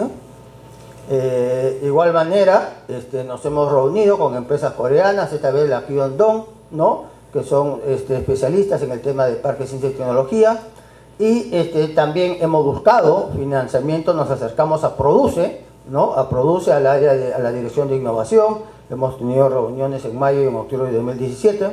Y para culminar el año 2017, este, el gobernador ¿no? y el IRTI creyó conveniente tocar las puertas ahora sí a la más alta autoridad de Corea en el Perú, al embajador. Para ello se realizó acá en Lima una reunión con el embajador, entre el embajador y el gobernador y, nosotros, el personal del IRTI, para ver de qué manera nos apoyaban, no solamente en temas de parque de ciencia y tecnología, sino en otros proyectos de I+D, de I+D, ¿no? como por ejemplo el Mar City, por, eh, el tema de, del agua, ¿no? Adelante. Entonces llegamos ya a este año, ¿no? Y para ello, este, eso es lo que les decía, ¿no? Enviamos ya una carta al, a la Embajada de Corea con el fin de, este, eh, de conseguir un especialista que nos pueda apoyar en todos esos temas, ¿no? En Piura estamos interesados en el manejo integral de cuencas, en el tema del City, como les decía, el Parque de Ciencia y Tecnología, la implementación de la agenda, la implementación, ¿no? porque el diseño ya lo estamos terminando, fortalecer el Instituto Regional de Ciencias, implementar un proyecto que en Piura lo estamos llevando, lo que es el uso, eh, mejorar las habilidades blandas en la educación básica regular, ¿no? Eh, después, eh, ya en febrero y marzo, nos hemos reunido con Sergio, Sergio Rodríguez, que es el director de innovación de Produce, con el fin de poder conseguir el financiamiento, ¿no? Eh, ha habido muy buena aceptación y nos ha prometido interceder con el BIF, la CAF y el Banco Mundial, ¿no? Está pendiente una reunión, como este cambio de ministros, ¿no? Esperemos que sea prontamente, me han dicho que quizás este mes o el siguiente estamos haciendo reunión, porque la ministra ve con mucho interés el desarrollo de la implementación, ¿no? Del Parque de Ciencia y Tecnología, ¿no? Eh, por último, este, hemos pedido otra vez, tocamos la puerta nuevamente a nuestra eh, eh, recursos del gobierno regional, pero este, eh, vamos a ver, ya nos dijeron que otra vez no hay plata, pero vamos a seguir insistiendo. ¿no? Lo que debemos de hacer, no debemos dejar la perseverancia, porque el gobierno, los gobiernos regionales son así. ¿no? Y más que nada, como les decía, eh, eh, no es que el gobernador sí tiene intención, tiene toda la predisposición, pero ahora debido a, al, cambio, los fenómenos ¿no? que, que sufrimos el año pasado, Ahorita pues la plata está enfocada al tema de la reconstrucción, como ustedes entenderán. Entonces definitivamente tenemos que tocar, ya estoy convencido que tenemos que tocar las puertas de otras instituciones internacionales y ojalá que produce nos ayude, ¿no? Siguiente. Muy bien, este es el terreno, como les digo, es un terreno que ya está inscrito, nos costó mucho, dos años recorriendo, porque ese era un terreno de la SBN, ¿no? y inscrito todavía al, Ministerio de Agricultura, que lo había cedido al Ministerio de Defensa, ¿no? Nos costó dos años tratar de conseguir las 49.1 hectáreas, ¿no? Adelante. Ya tenemos inscrito, este, ya con partida registral. Eso fue en mayo, en marzo del año 2015, exactamente son 49.17 hectáreas, y aquí es algo que recalcar, ¿no? Ustedes saben que la SBN cede propiedades con el fin de que ahí se va a hacer algún proyecto, y te da como plazo dos años. Entonces, en, en, febrero del año, del año pasado ya se cumplieron los dos años.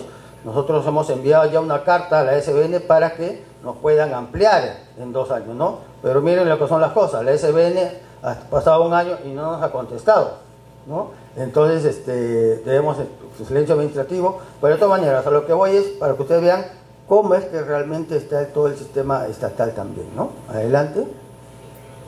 Este, eso es lo que les decía, ¿no? Asimismo, como les decía, eh, ya se construyó la autopista Piura-Paita y eso, al momento de construir la otra pista, ¿no? Este, nos ha afectado y el terreno ha sido mermado en 1.5 hectáreas que este, este, esperamos que Provías de, tiene que hacer un saneamiento físico legal, ¿no? Eso ya hemos hecho el reclamo, ¿no? Hay invasión de terceros, por ahí veía eh, el parque de, la Caetano Heredia, espero que no suceda eso, porque las invasiones pues están al orden del día, ¿no? Tienen que tener mucho cuidado, ¿no? Este, nosotros ya estamos, eso sí, ya está saliendo el dinero para delimitar, colocar letreros, obviamente, ¿no? Y como les decía, este, estamos viendo la ampliación de plazo a la ASBN por un par de años más, ¿no? Y, aquí es un problema, porque si eso sería así, el próximo año 2019 ya estaría eh, cumpliendo ese plazo y nosotros tenemos que apurar para que aunque sea nos vean que estamos haciendo el perfil, ¿no? Adelante. Bueno, los linderos, adelante, adelante por favor. Eso es eh, más o el croquis del terreno, ¿no? Adelante. ¿No? Ahí está el parque científico, como le digo, está a 8.4 kilómetros de Piura, ¿no? Muy cerca. Y lo que queremos, aquí es importante, lo que queremos ahí es desarrollar una ciudad, este, ciudad científica. O sea, eso es lo que se ha propuesto el gobernador, ¿no? Entonces, dentro del plan de desarrollo urbano, eh, la idea es ahí crear toda una, eh, así como la zona de influencia, todo lo que sea este, como una ciudad científica. Adelante. Eh, siguen esas ubicaciones, localización. Todos estos mapas y aquí les voy a bueno, esa es la ubicación, ahí está cuando era en el año 2015, había una sola pista, ¿no? La siguiente, ahora ya, como ustedes podrán ver, ya es la autopista y hemos sido afectados por 1.5 hectáreas, ¿no? Eso es muy bueno porque justamente tenés ese corredor y Piura, pues, sin, sin equivocarme, es la región más potente del Perú, no somos de muchas riquezas naturales y de personas, ¿no? Entonces yo creo que es importantísimo eh, este desarrollo del parque, ¿no?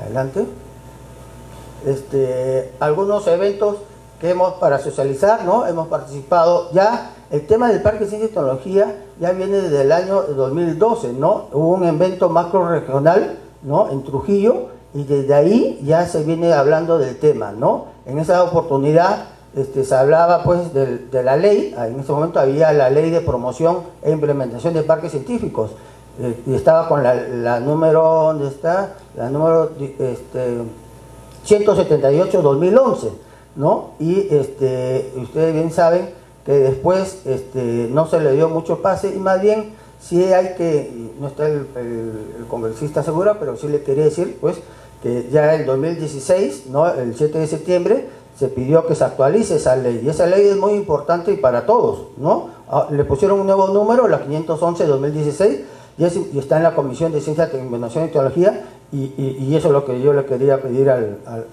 congresista Segura, ¿no? A ver en qué situación está esa ley, ¿no? Porque como le digo, se dejó de lado para promocionar la otra ley de parques este, industriales, pero eh, debemos de retomar, ese proyecto de ley 511-2016, ¿no?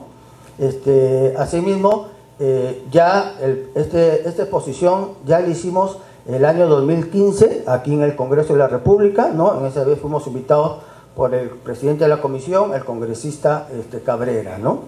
Adelante.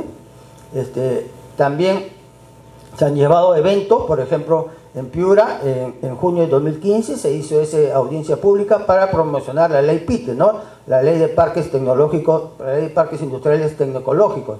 Eso, en ese tiempo fue este, los dos congresistas que estaban impulsando y pongo ello porque en ese momento este, eh, toqué, eh, justamente en mi intervención fue para ver qué pasaba con nuestro parque científico y tecnológico, porque esta es la ley de parques industriales tecnológicos, que ahí no tiene nada que ver. La respuesta que me dieron fue este, que podía anexarse, pero realmente creo que no es así, ¿no? Entonces por eso es importante y recalco que debemos de, eh, esta ley, la nueva ley de, promoción de parques científicos tecnológicos debe de impulsarse y ojalá que se pueda hacer una realidad.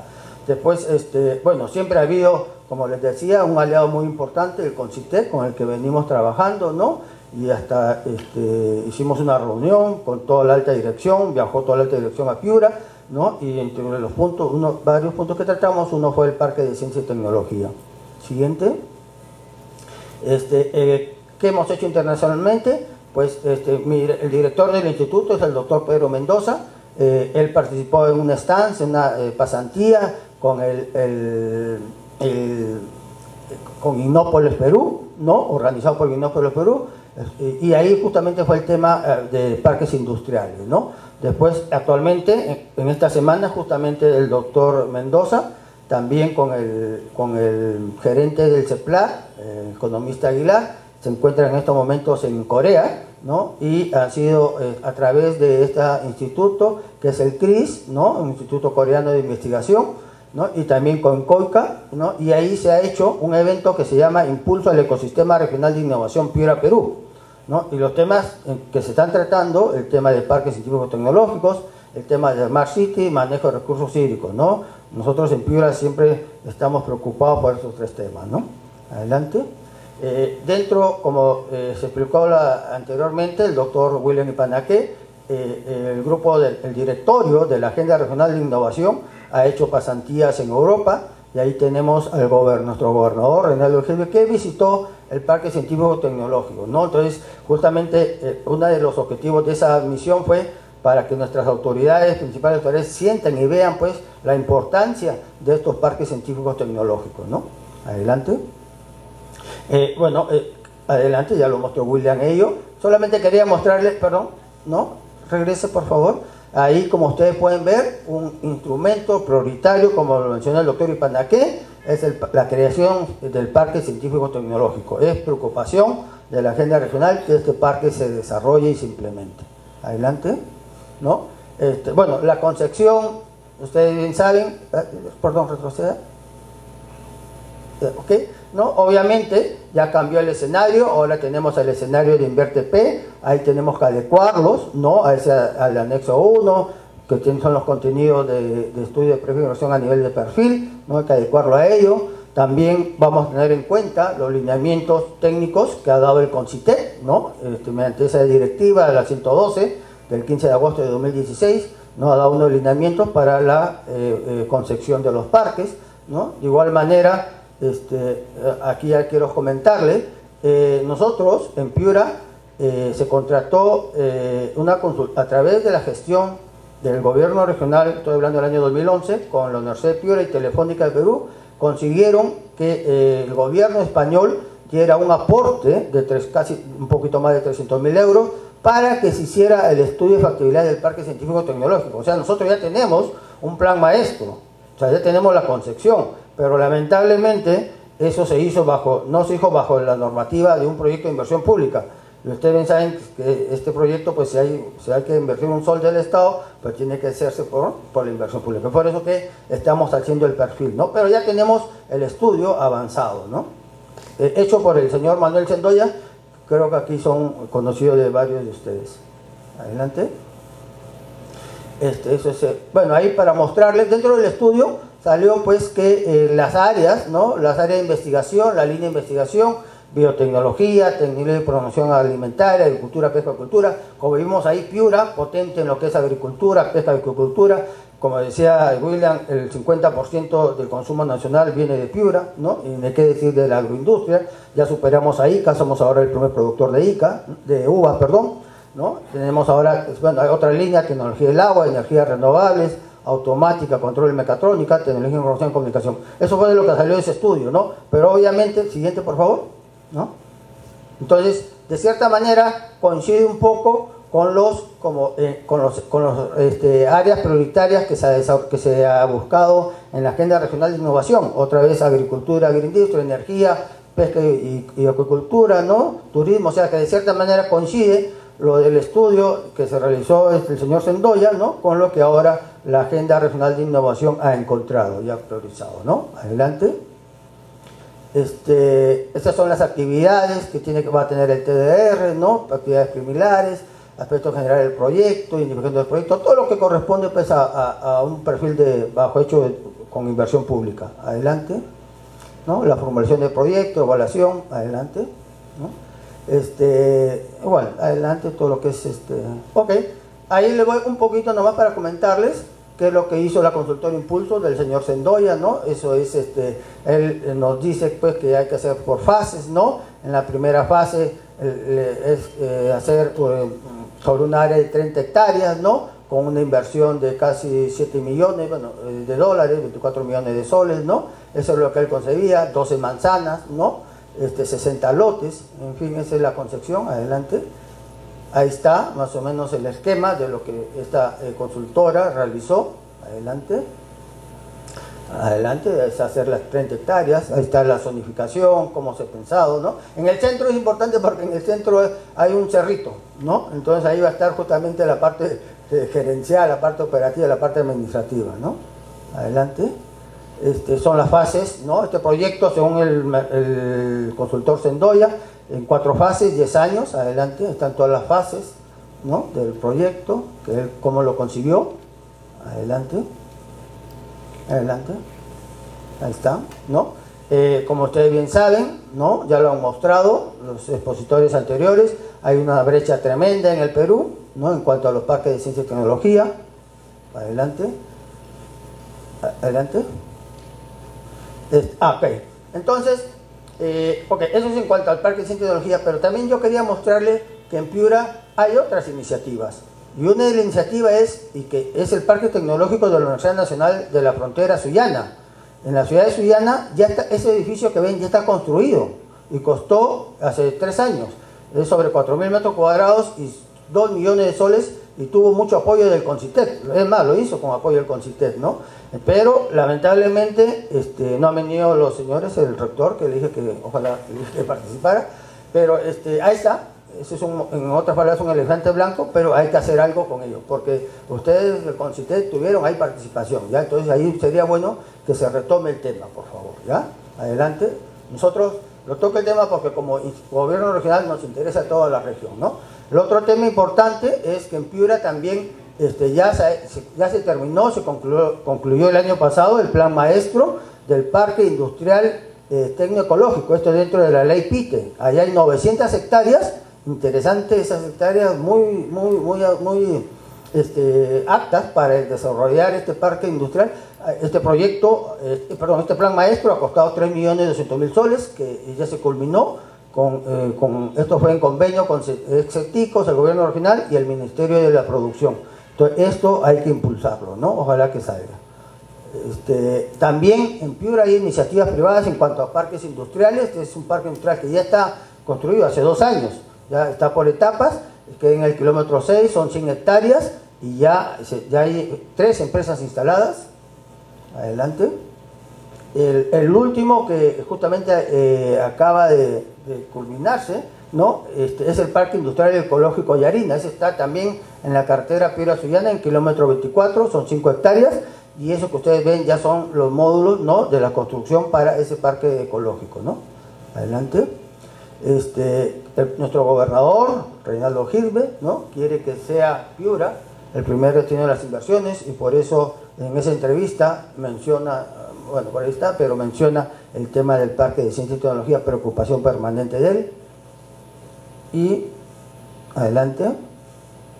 Y culmino pues que, este, eh, ahí está el, consultor Manuel Sendoya, que el año 2014 pues mencionó pues que Piura tiene todas las cualidades para un parque tecnológico, y ahí también menciona a Arequipa, Lima y Trujillo y Piura, ¿no? Para él es un consultor muy experto, ¿no?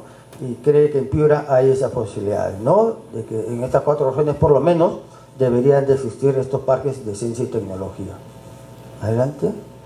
Creo que ahí. Ok, muchas gracias.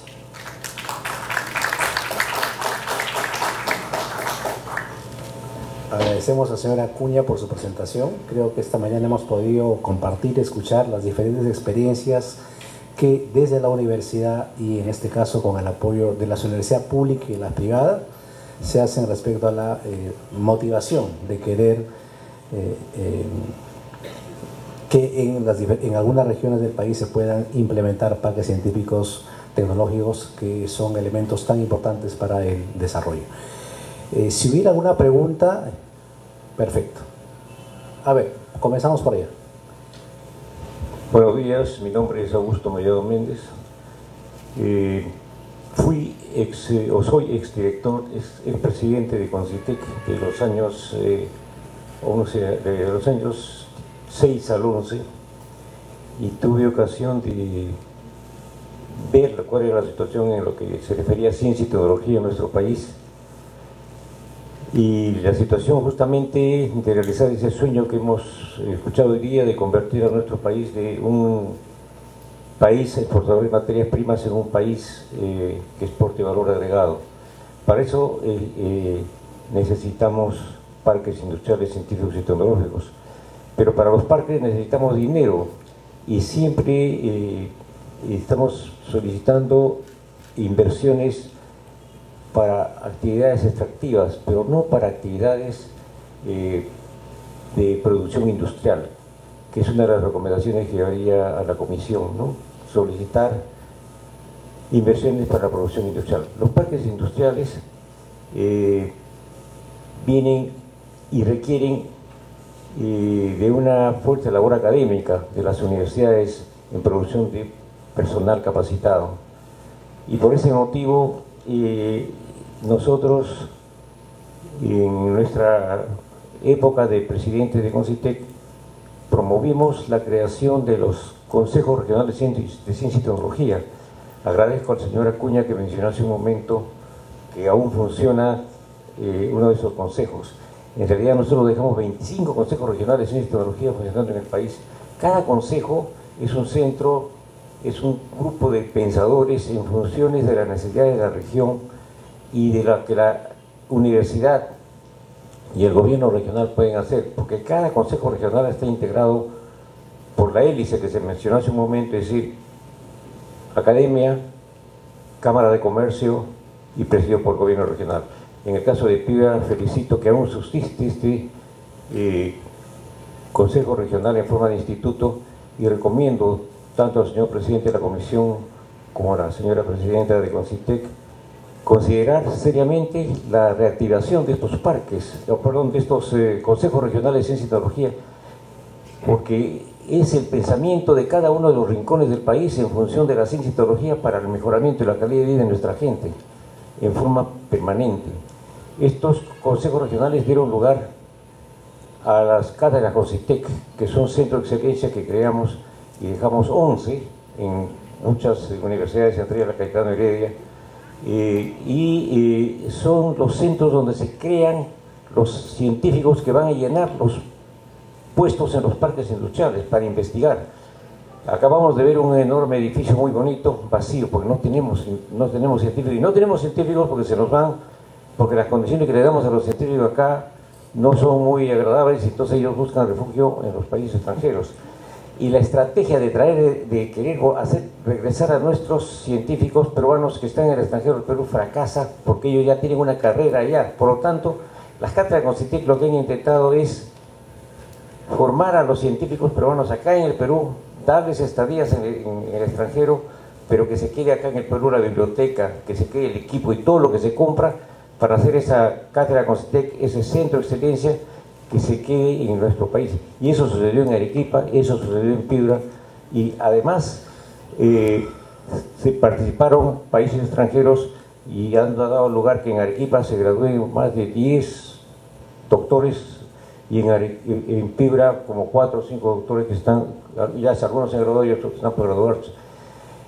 Pido pues que se reactiven las actividades de los consejos regionales de ciencia y tecnología y que se considere la reactivación de estos pequeños proyectos de investigación en cada una de las universidades. No cuesta mucho dinero, no son enormes inversiones que van a llevar enorme cantidad de tiempo y que generalmente se corta porque cambia un gobierno, no hay, presupuesto. Estos son pequeñas inversiones en, investigación en cada uno de los, en cada una de las regiones del país, en función de los pedidos que le haga el Consejo Regional de Ciencia y Tecnología de cada una de las regiones. Los felicito por este esfuerzo que han hecho en hacer esta, este, este evento, que creo que ha sido muy necesario, y tenemos tres años, señor presidente de la comisión, señora presidenta, para poder en este tiempo transformar en el Perú, creando pues el, el mayor número de parques industriales, científicos y tecnológicos con un modelo peruano, no necesariamente un modelo extranjero, que no son los que van a a funcionar en nuestro país porque tenemos características muy especiales nosotros, necesitamos un modelo de parque muy especial en el cual estamos trabajando en la, en la Universidad, eh, San Martín de Porres de acá de Lima. Muchas gracias y les agradezco muchísimo su atención. Bueno, agradecemos su participación y creo que más que una pregunta, es un comentario que todos compartimos y saludamos su presencia en esta... ¿Alguna a ver, para acá, para el lado izquierdo, los tres señores para, para terminar.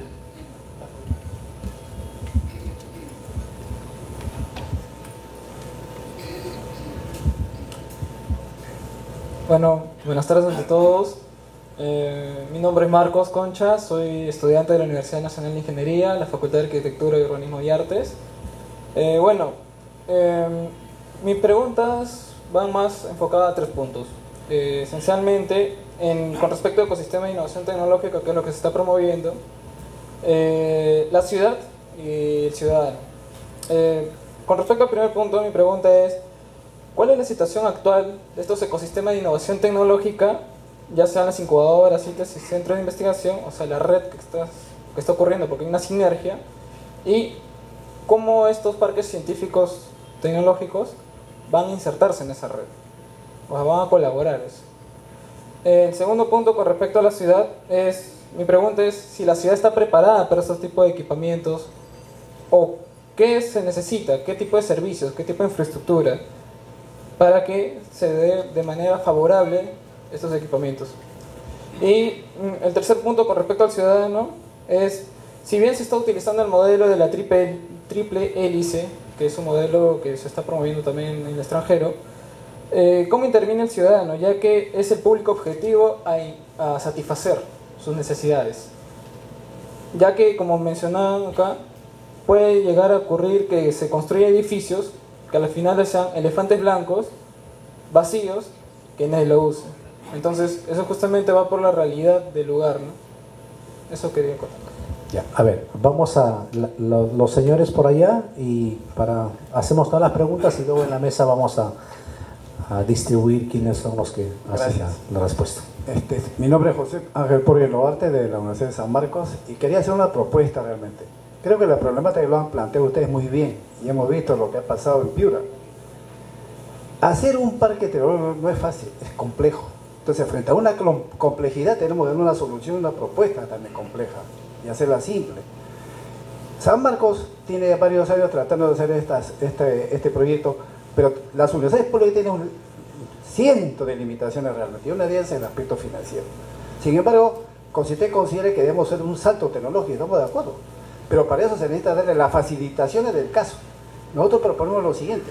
En primer lugar, creo que debe, las universidades que reciban el apoyo deben tener un- una línea base, es decir, deben, deben haber cumplido unas ciertas condiciones básicas para poder acceder al financiamiento. Hemos visto de que hay problemas para hacer los estudios. No hay consultores nacionales expertos en hacer parques científicos. Las licitaciones tienen que ser internacionales.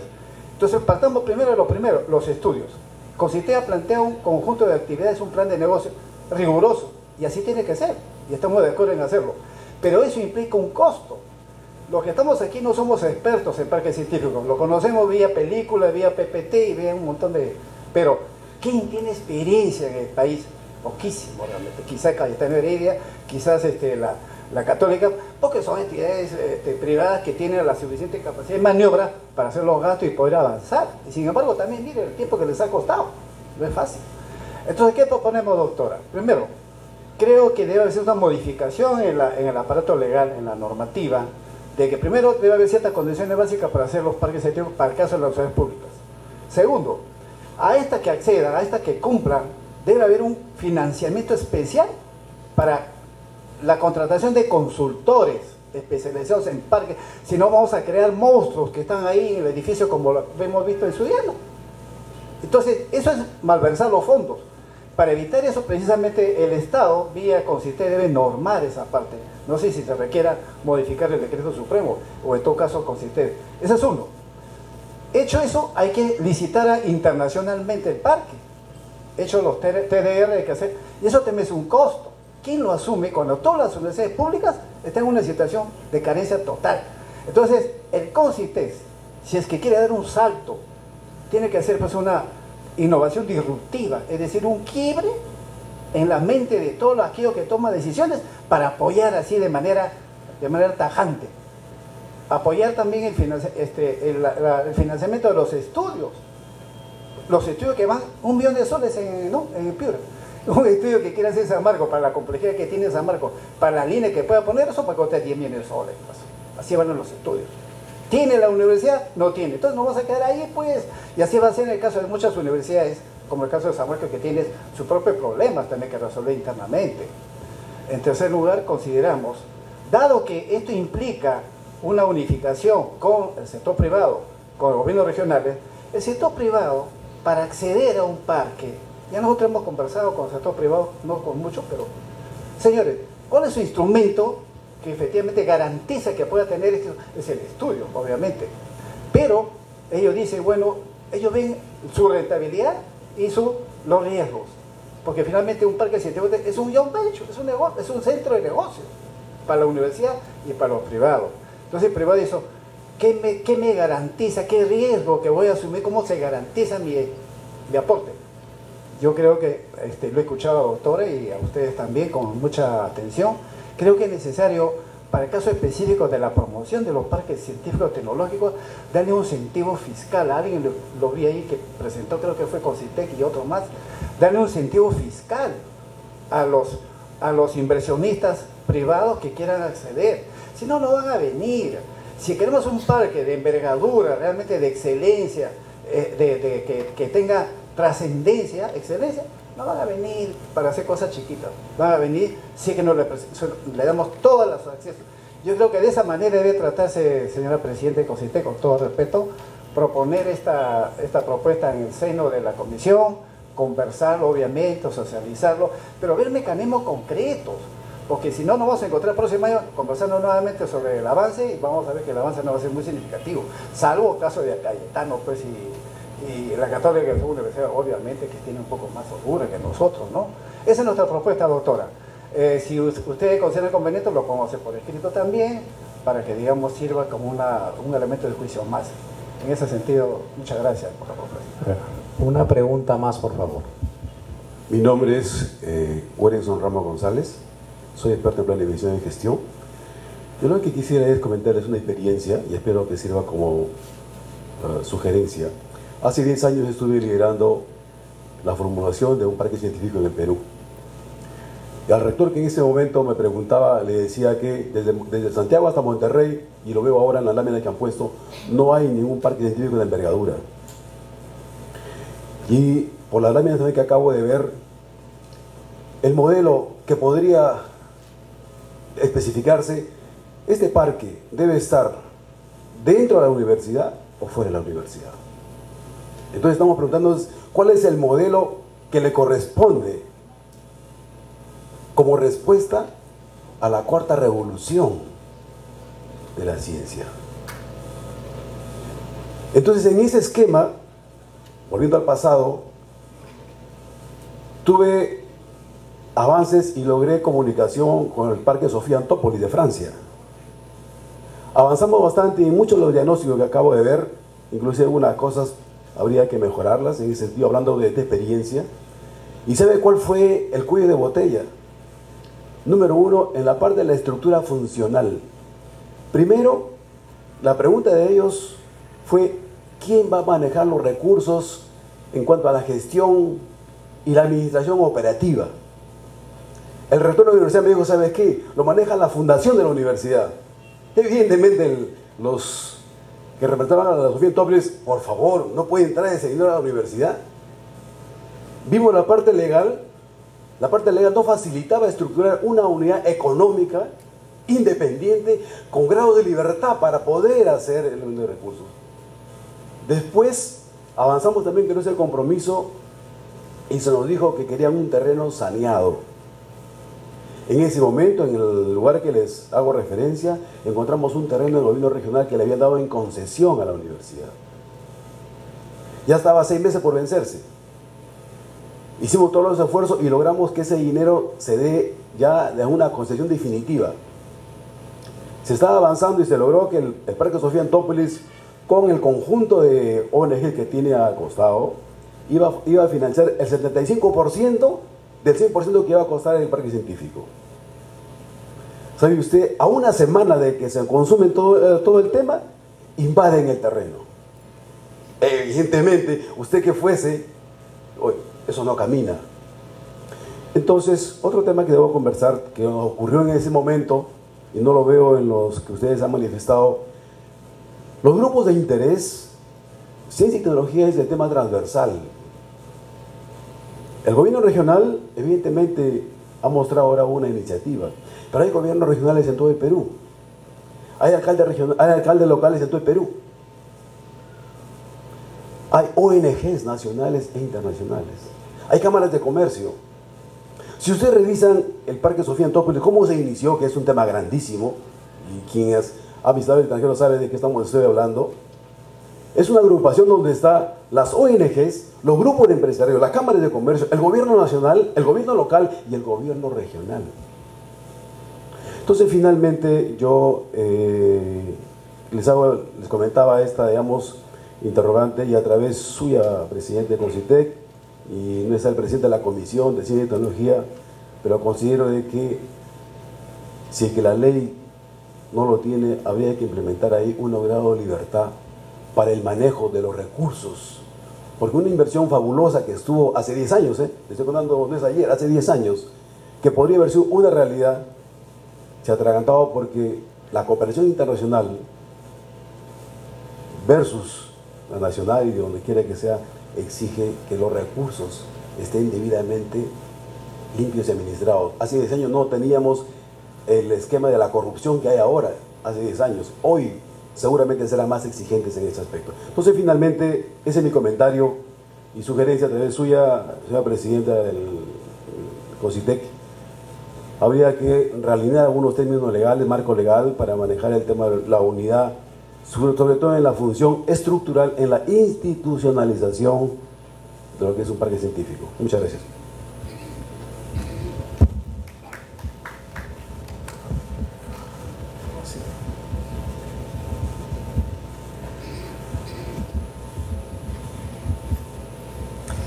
Muchas gracias por todos sus aportes y su interés.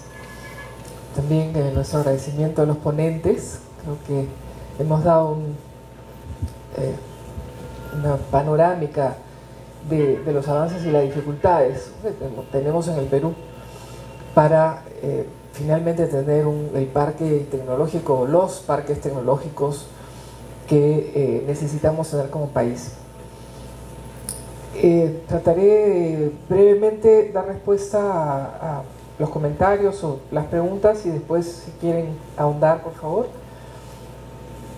Eh, con respecto a llegar más a las regiones, eh, ingeniero Mellado, me lo saludé al, inicio, eh, somos, hemos reconocido, por lo menos desde mis, mis otros, cuando estaba en, otra posición de autoridad de una universidad, he reconocido mucho su gestión y, y también la visión de ir más hacia las regiones. O sea que en, en esta gestión vamos a, retomar el tema que eh, no solamente con las agencias, que también las agencias regionales han sido trabajadas eh, los últimos años también por el CONCITEC, sino también con el modelo de los CORCITEC que nos ha parecido adecuados. De manera que creo que no son excluyentes, ¿no? el modelo que estamos trabajando y el modelo de los CORCITEC, que también realmente los hemos mirado en su conformación y nos parecían muy interesantes. Tenemos el compromiso de ir trabajar más con las regiones también, eh, porque es una demanda en general y porque efectivamente hemos visto que por tal vez los, los últimos años buscar lo que la ciencia y la tecnología busca es excelencia, excelencia, excelencia, hemos descuidado un poquito la generación de capacidades. Y la generación de capacidades también eh, es, es menester poner los recursos allí donde hay que generarlas también, ¿no? y no solamente donde las hay. Es decir, trabajar en red, tanto eh, a nivel nacional como internacional, esos son los nuevos objetivos.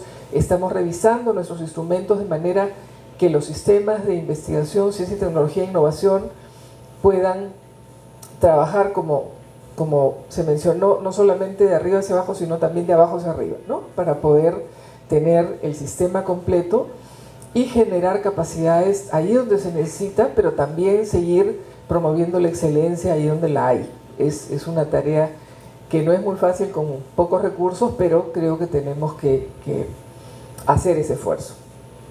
Con respecto a, Marcos de la UNI, tal vez ahí me ayudan los ponentes en el tema de, urbanismo pero, eh, y, su espacio en las ciudades.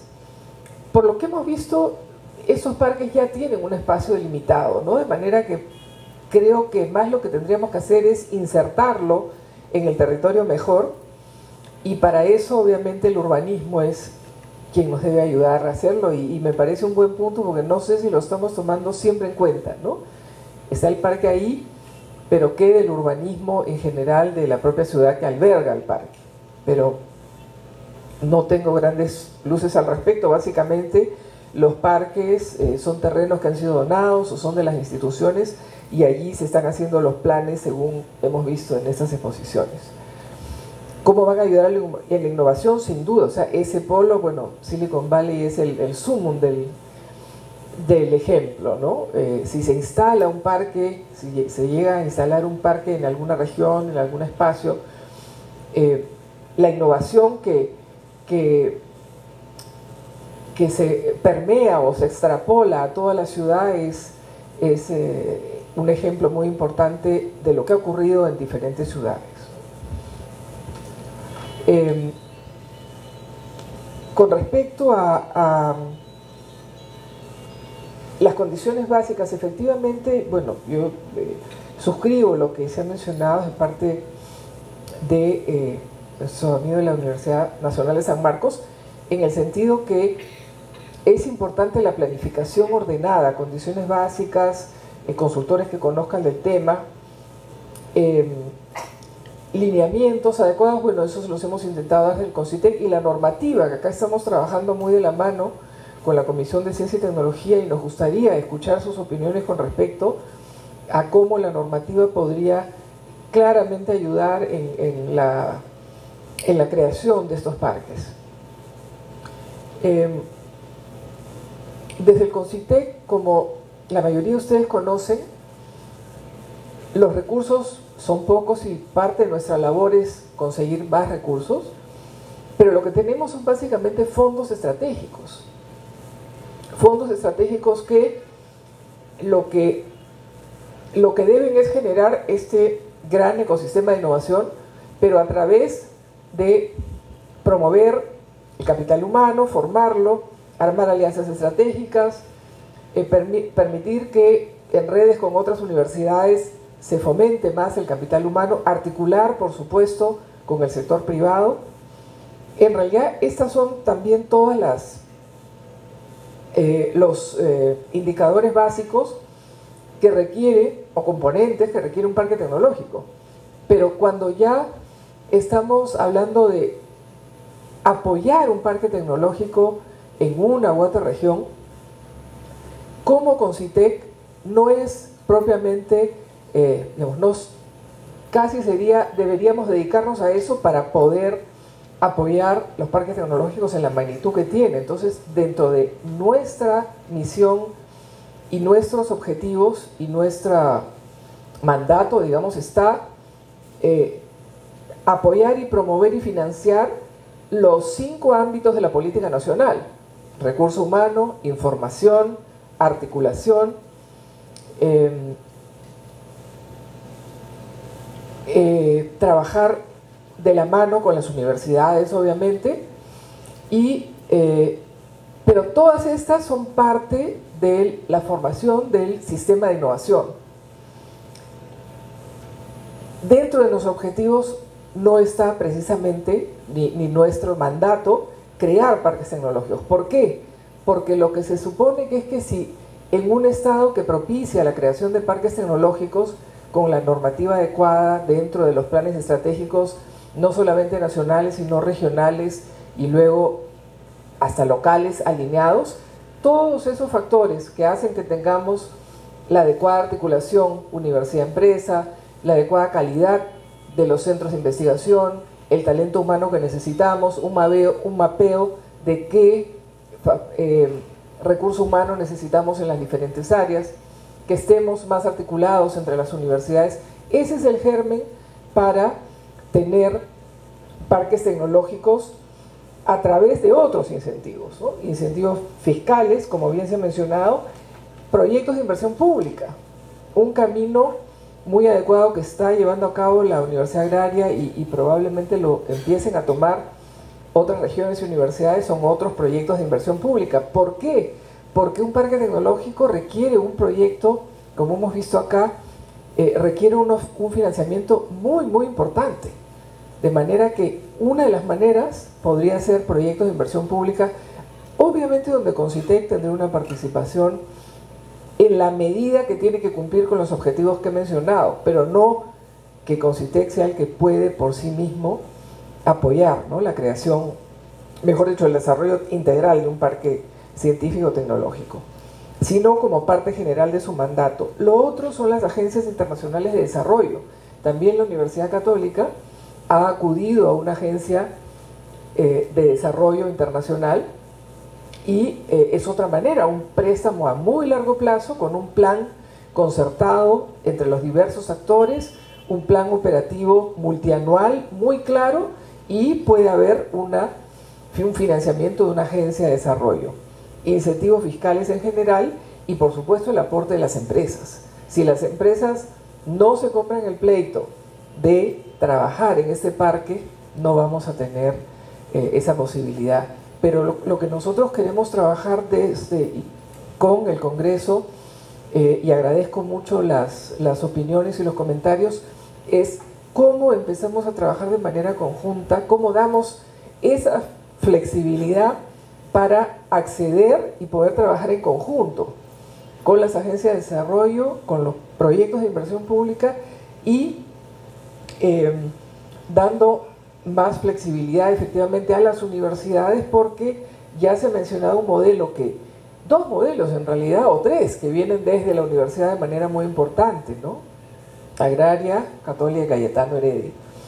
Entonces, eh, quisiéramos tomar eso, eh, más bien recibir ¿no? aportes más concretos, cómo podemos desde la normativa ir permitiendo que esas cosas vayan sucediendo eh, de manera más concreta. Y por último, no, creo que, es, creo que más o menos he respondido eh, desde el CONCITEC qué es lo que podemos y quisiéramos hacer y estamos comprometidos a hacerlo. Más bien dejaría si quisieran hacer comentarios a, las preguntas que se han recibido. Eh, ¿Alguien en la mesa algún comentario? Solamente la pregunta del alumno, o sea, eh, eh, ahora ya no es triple hélice, sino cuádruple Y justamente el cuarto es el componente de la sociedad civil. Entonces ahí es donde ustedes tienen la participación, ¿no? Y lo otro también quería decirles es que para que las cosas funcionen tiene que haber una empatía entre las instituciones que están. En el caso de Piura en particular, esta agenda regional de tiene un éxito porque el personal de la Universidad Nacional de Piura, la UDEP, el gobierno regional y la Cámara de Comercio vemos tenemos, somos un solo puño y vemos cómo queremos ver a Piura. Ese es el éxito. Es más, hay un colectivo piurano que lo ha tomado como suyo. Entonces, ese es el éxito de por qué la agenda regional de Piura eh, creemos que va a ser un éxito. ¿no?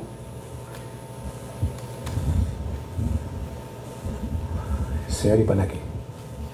Sí, yo quisiera eh, bueno, empezar con algunos comentarios. Primero, eh, agradecer la presencia también del past presidente del CONCITEC, doctor Augusto Mellado, que nos honra con su presencia y efectivamente comparto algunas de las cosas que ha mencionado.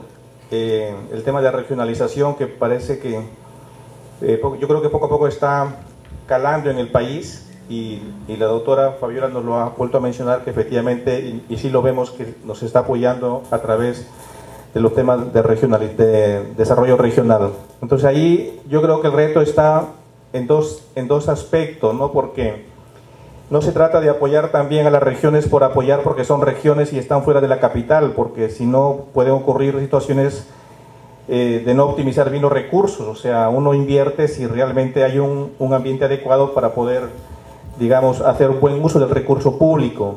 Entonces ahí vienen como dos aspectos, apoyarlo, pero también creo que tiene que haber una fuerte correspondencia de las regiones y un esfuerzo por mejorar la calidad de sus proyectos y mejorar el número, ambos, ¿no? Nosotros en Piura sí hemos hecho un análisis de las propuestas que se presentan a concurso público y por eso en Piura hemos empezado a hacer talleres que tienen dos perspectivas, ¿no? Uno es mejorar la idea, porque hay ideas buenas mal presentadas y al revés, malas ideas bien presentadas y, se aprueban, ¿no? Entonces, tanto en la Universidad Nacional somos testigos que también han hecho talleres para mejorar esas propuestas y también en la UDEP y en el gobierno regional hemos hecho también iniciativas conjuntas, o sea, sí creo que hay que hacer la regionalización, pero no podemos caer en una beneficencia, ¿no? entonces tiene que estar la exigencia académica y creo que aquí está el, el gran reto de hacer esto con una exigencia académica.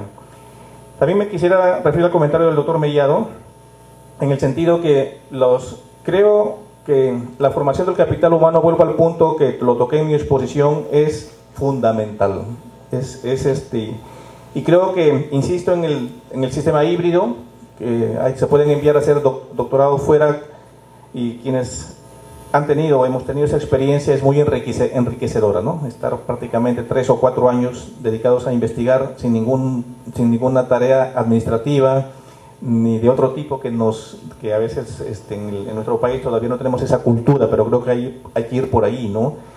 También, pero también creo que hay que formar buenos niveles de posgrados en el país y efectivamente el programa Cátedra eh, tuvo su, su época, muy, muy, que tuvo creo que fue un impacto bueno y creo que se pueda continuar a través de doctorados en el país a tiempo completo, porque también ahí viene una cultura que tenemos que cambiar en el país. O sea, el doctorado tiene que ser en lo posible a tiempo completo y de calidad, porque si queremos eh, levantar la excelencia del país, tienen que, las instituciones tienen que ser excelentes y yo personalmente pienso que no hay instituciones excelentes. Hay ambientes, ecosistemas donde las personas que buscan una excelencia hacen que esa institución sea excelente. Entonces el, tema del capital humano.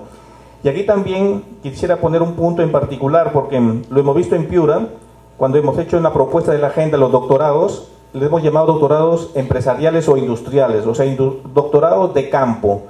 No que los doctores, los PhD, no sea un sinónimo que cuando uno diga, tú eres doctor, ¿en qué universidad trabajas? No, puedes trabajar también en una empresa. Y claro, en, en la, en la mentalidad anglosajona, en el norte de Europa, en la mentalidad alemana, es normal que los doctores trabajen en la industria, en las empresas. Y también fomentar un poco esa cultura ahora que estamos viviendo un periodo político un poco complicado, ¿no? Cuando uno va a Inglaterra, a estos países, encuentra una normal que un asesor de un ministro es un alto eh, elemento de la comunidad científica eh, relevante y es asesor de un ministro. Entonces, yo creo que también ahí esta cuádruple hélice tiene que estar en todos los sectores, también en el sector político. O sea, creo que la, los- lo- la academia, los buenos ejemplos, porque en el Perú sí tenemos buenas universidades, creo que también tenemos una labor que yo lo llamo social, porque hay que, uno busca en el fondo el bien del país. Luego quería recibirme la pregunta de Marco, que me pareció que la, su pregunta es, yo al menos yo la interpreto así, ¿no? Es más profunda. O sea, creo que la pregunta en el fondo es, oye, ¿por qué un parque? ¿Por qué un ecosistema? ¿Por qué doctorados? ¿Por qué maestrías? O sea, ¿para qué? Yo creo que te- es- esa pregunta es importante. Yo al menos he, inter- he interpretado así tu... O sea, ¿para qué? Y creo que en el fondo, en el fondo lo que nosotros buscamos es una calidad de vida de nuestra sociedad más digna. Creo que entender este enfoque es muy importante, pero muy importante, porque si nos vamos por indicadores, eh, yo suelo comentar a veces dos ejemplos cuando hablo de indicadores. En el Perú, una de, la- de las lo- regiones o digamos o territorios que más ha contribuido al PBI nacional es Huancavelica, por la minería, etcétera. Pero al mismo tiempo Huancavelica, que en ese indicador es puntero, es donde hay la mayor pobreza extrema en nuestro país. Uno de los, entonces, entonces, si perdemos, o sea, si no enfocamos que lo que queremos es la, mejorar la calidad de vida de las personas y que la ciencia y la tecnología es un instrumento para esto, podemos perder el paso. Solo comentar otro ejemplo que se conoce muy poco, pero ustedes pongan en Google Amazon, New York Times, pónganlo. Y claro, hace dos años New York Times se hizo una pregunta, ¿la gente que trabaja en Amazon es feliz? O sea, nadie duda de la capacidad de innovación de Amazon, nadie duda del éxito que tiene. Pero New York Times se planteó otra pregunta y salió un resultado bien penoso, que si tú trabajas en una empresa y de pronto tienes cáncer o una enfermedad, ¿no? que no, ya no eres tan productivo, de pronto te empiezan a hallar memos conduciéndote. O el estado de la mujer, que sale embarazada con G- David Parker eh, y Hewlett. Hewlett son dos, dos ingenieros que hacían su doctorado y que la Disney les hace un reto, simplemente les dice que quieren, era la época del cine mudo y querían hacer efectos especiales y ellos en su doctorado habían estudiado transformada de Laplace y con ese contrato que hacen con Disney empiezan justamente a, a, tener- a formar a la empresa y es lo que son ahora, pero ha demorado décadas. O sea, el primer microprocesador en el Valle del Silicio fue el año 1978, o sea, 28 años después del nacimiento del Valle del Silicio, de Stanford.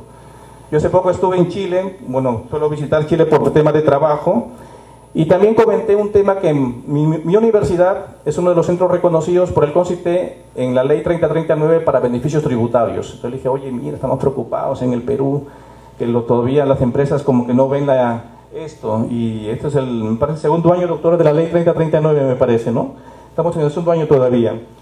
Ellos me mostraron un gráfico, que luego yo lo he, lo he compartido, en el cual los cuatro primeros años las empresas no, todavía no se animaban a hacer uso de esta ley, que ellos ya la habían propuesto hace mucho tiempo. Y recién el sexto año empezaron a ver los resultados, el séptimo ya fueron creciendo.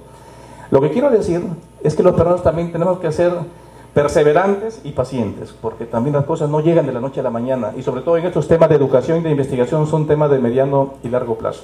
Gracias. Bueno, agradecemos eh, por su participación. Eh, en representación del congresista César Seguro Izquierdo, presidente de la Comisión de Ciencia y Tecnología, quiero agradecer a la doctora Fabiola León por su eh, presencia esta, esta mañana, tarde ya, al doctor Julio Vargas, al, al doctor Enrique Flores Mariaza, que ha tenido que retirarse, al doctor Víctor Guanambal, de la Universidad de Heredia, al señor William Panaqué y al señor Gerardo Acuña. Creo que hemos podido recibir la información necesaria para poder tener perfectamente claro qué cosa es un parque, qué cosa es lo que se, hace, qué cosa es lo que falta hacer, qué cosa hay pendiente por hacer.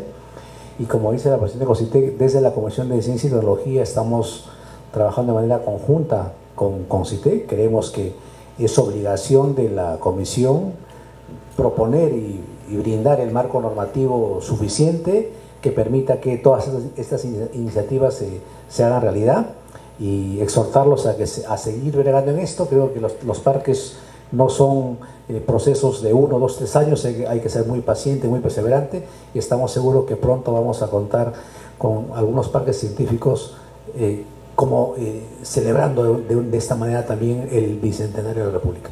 Muchas gracias a todos y ha sido un gusto tenerlos esta mañana acá.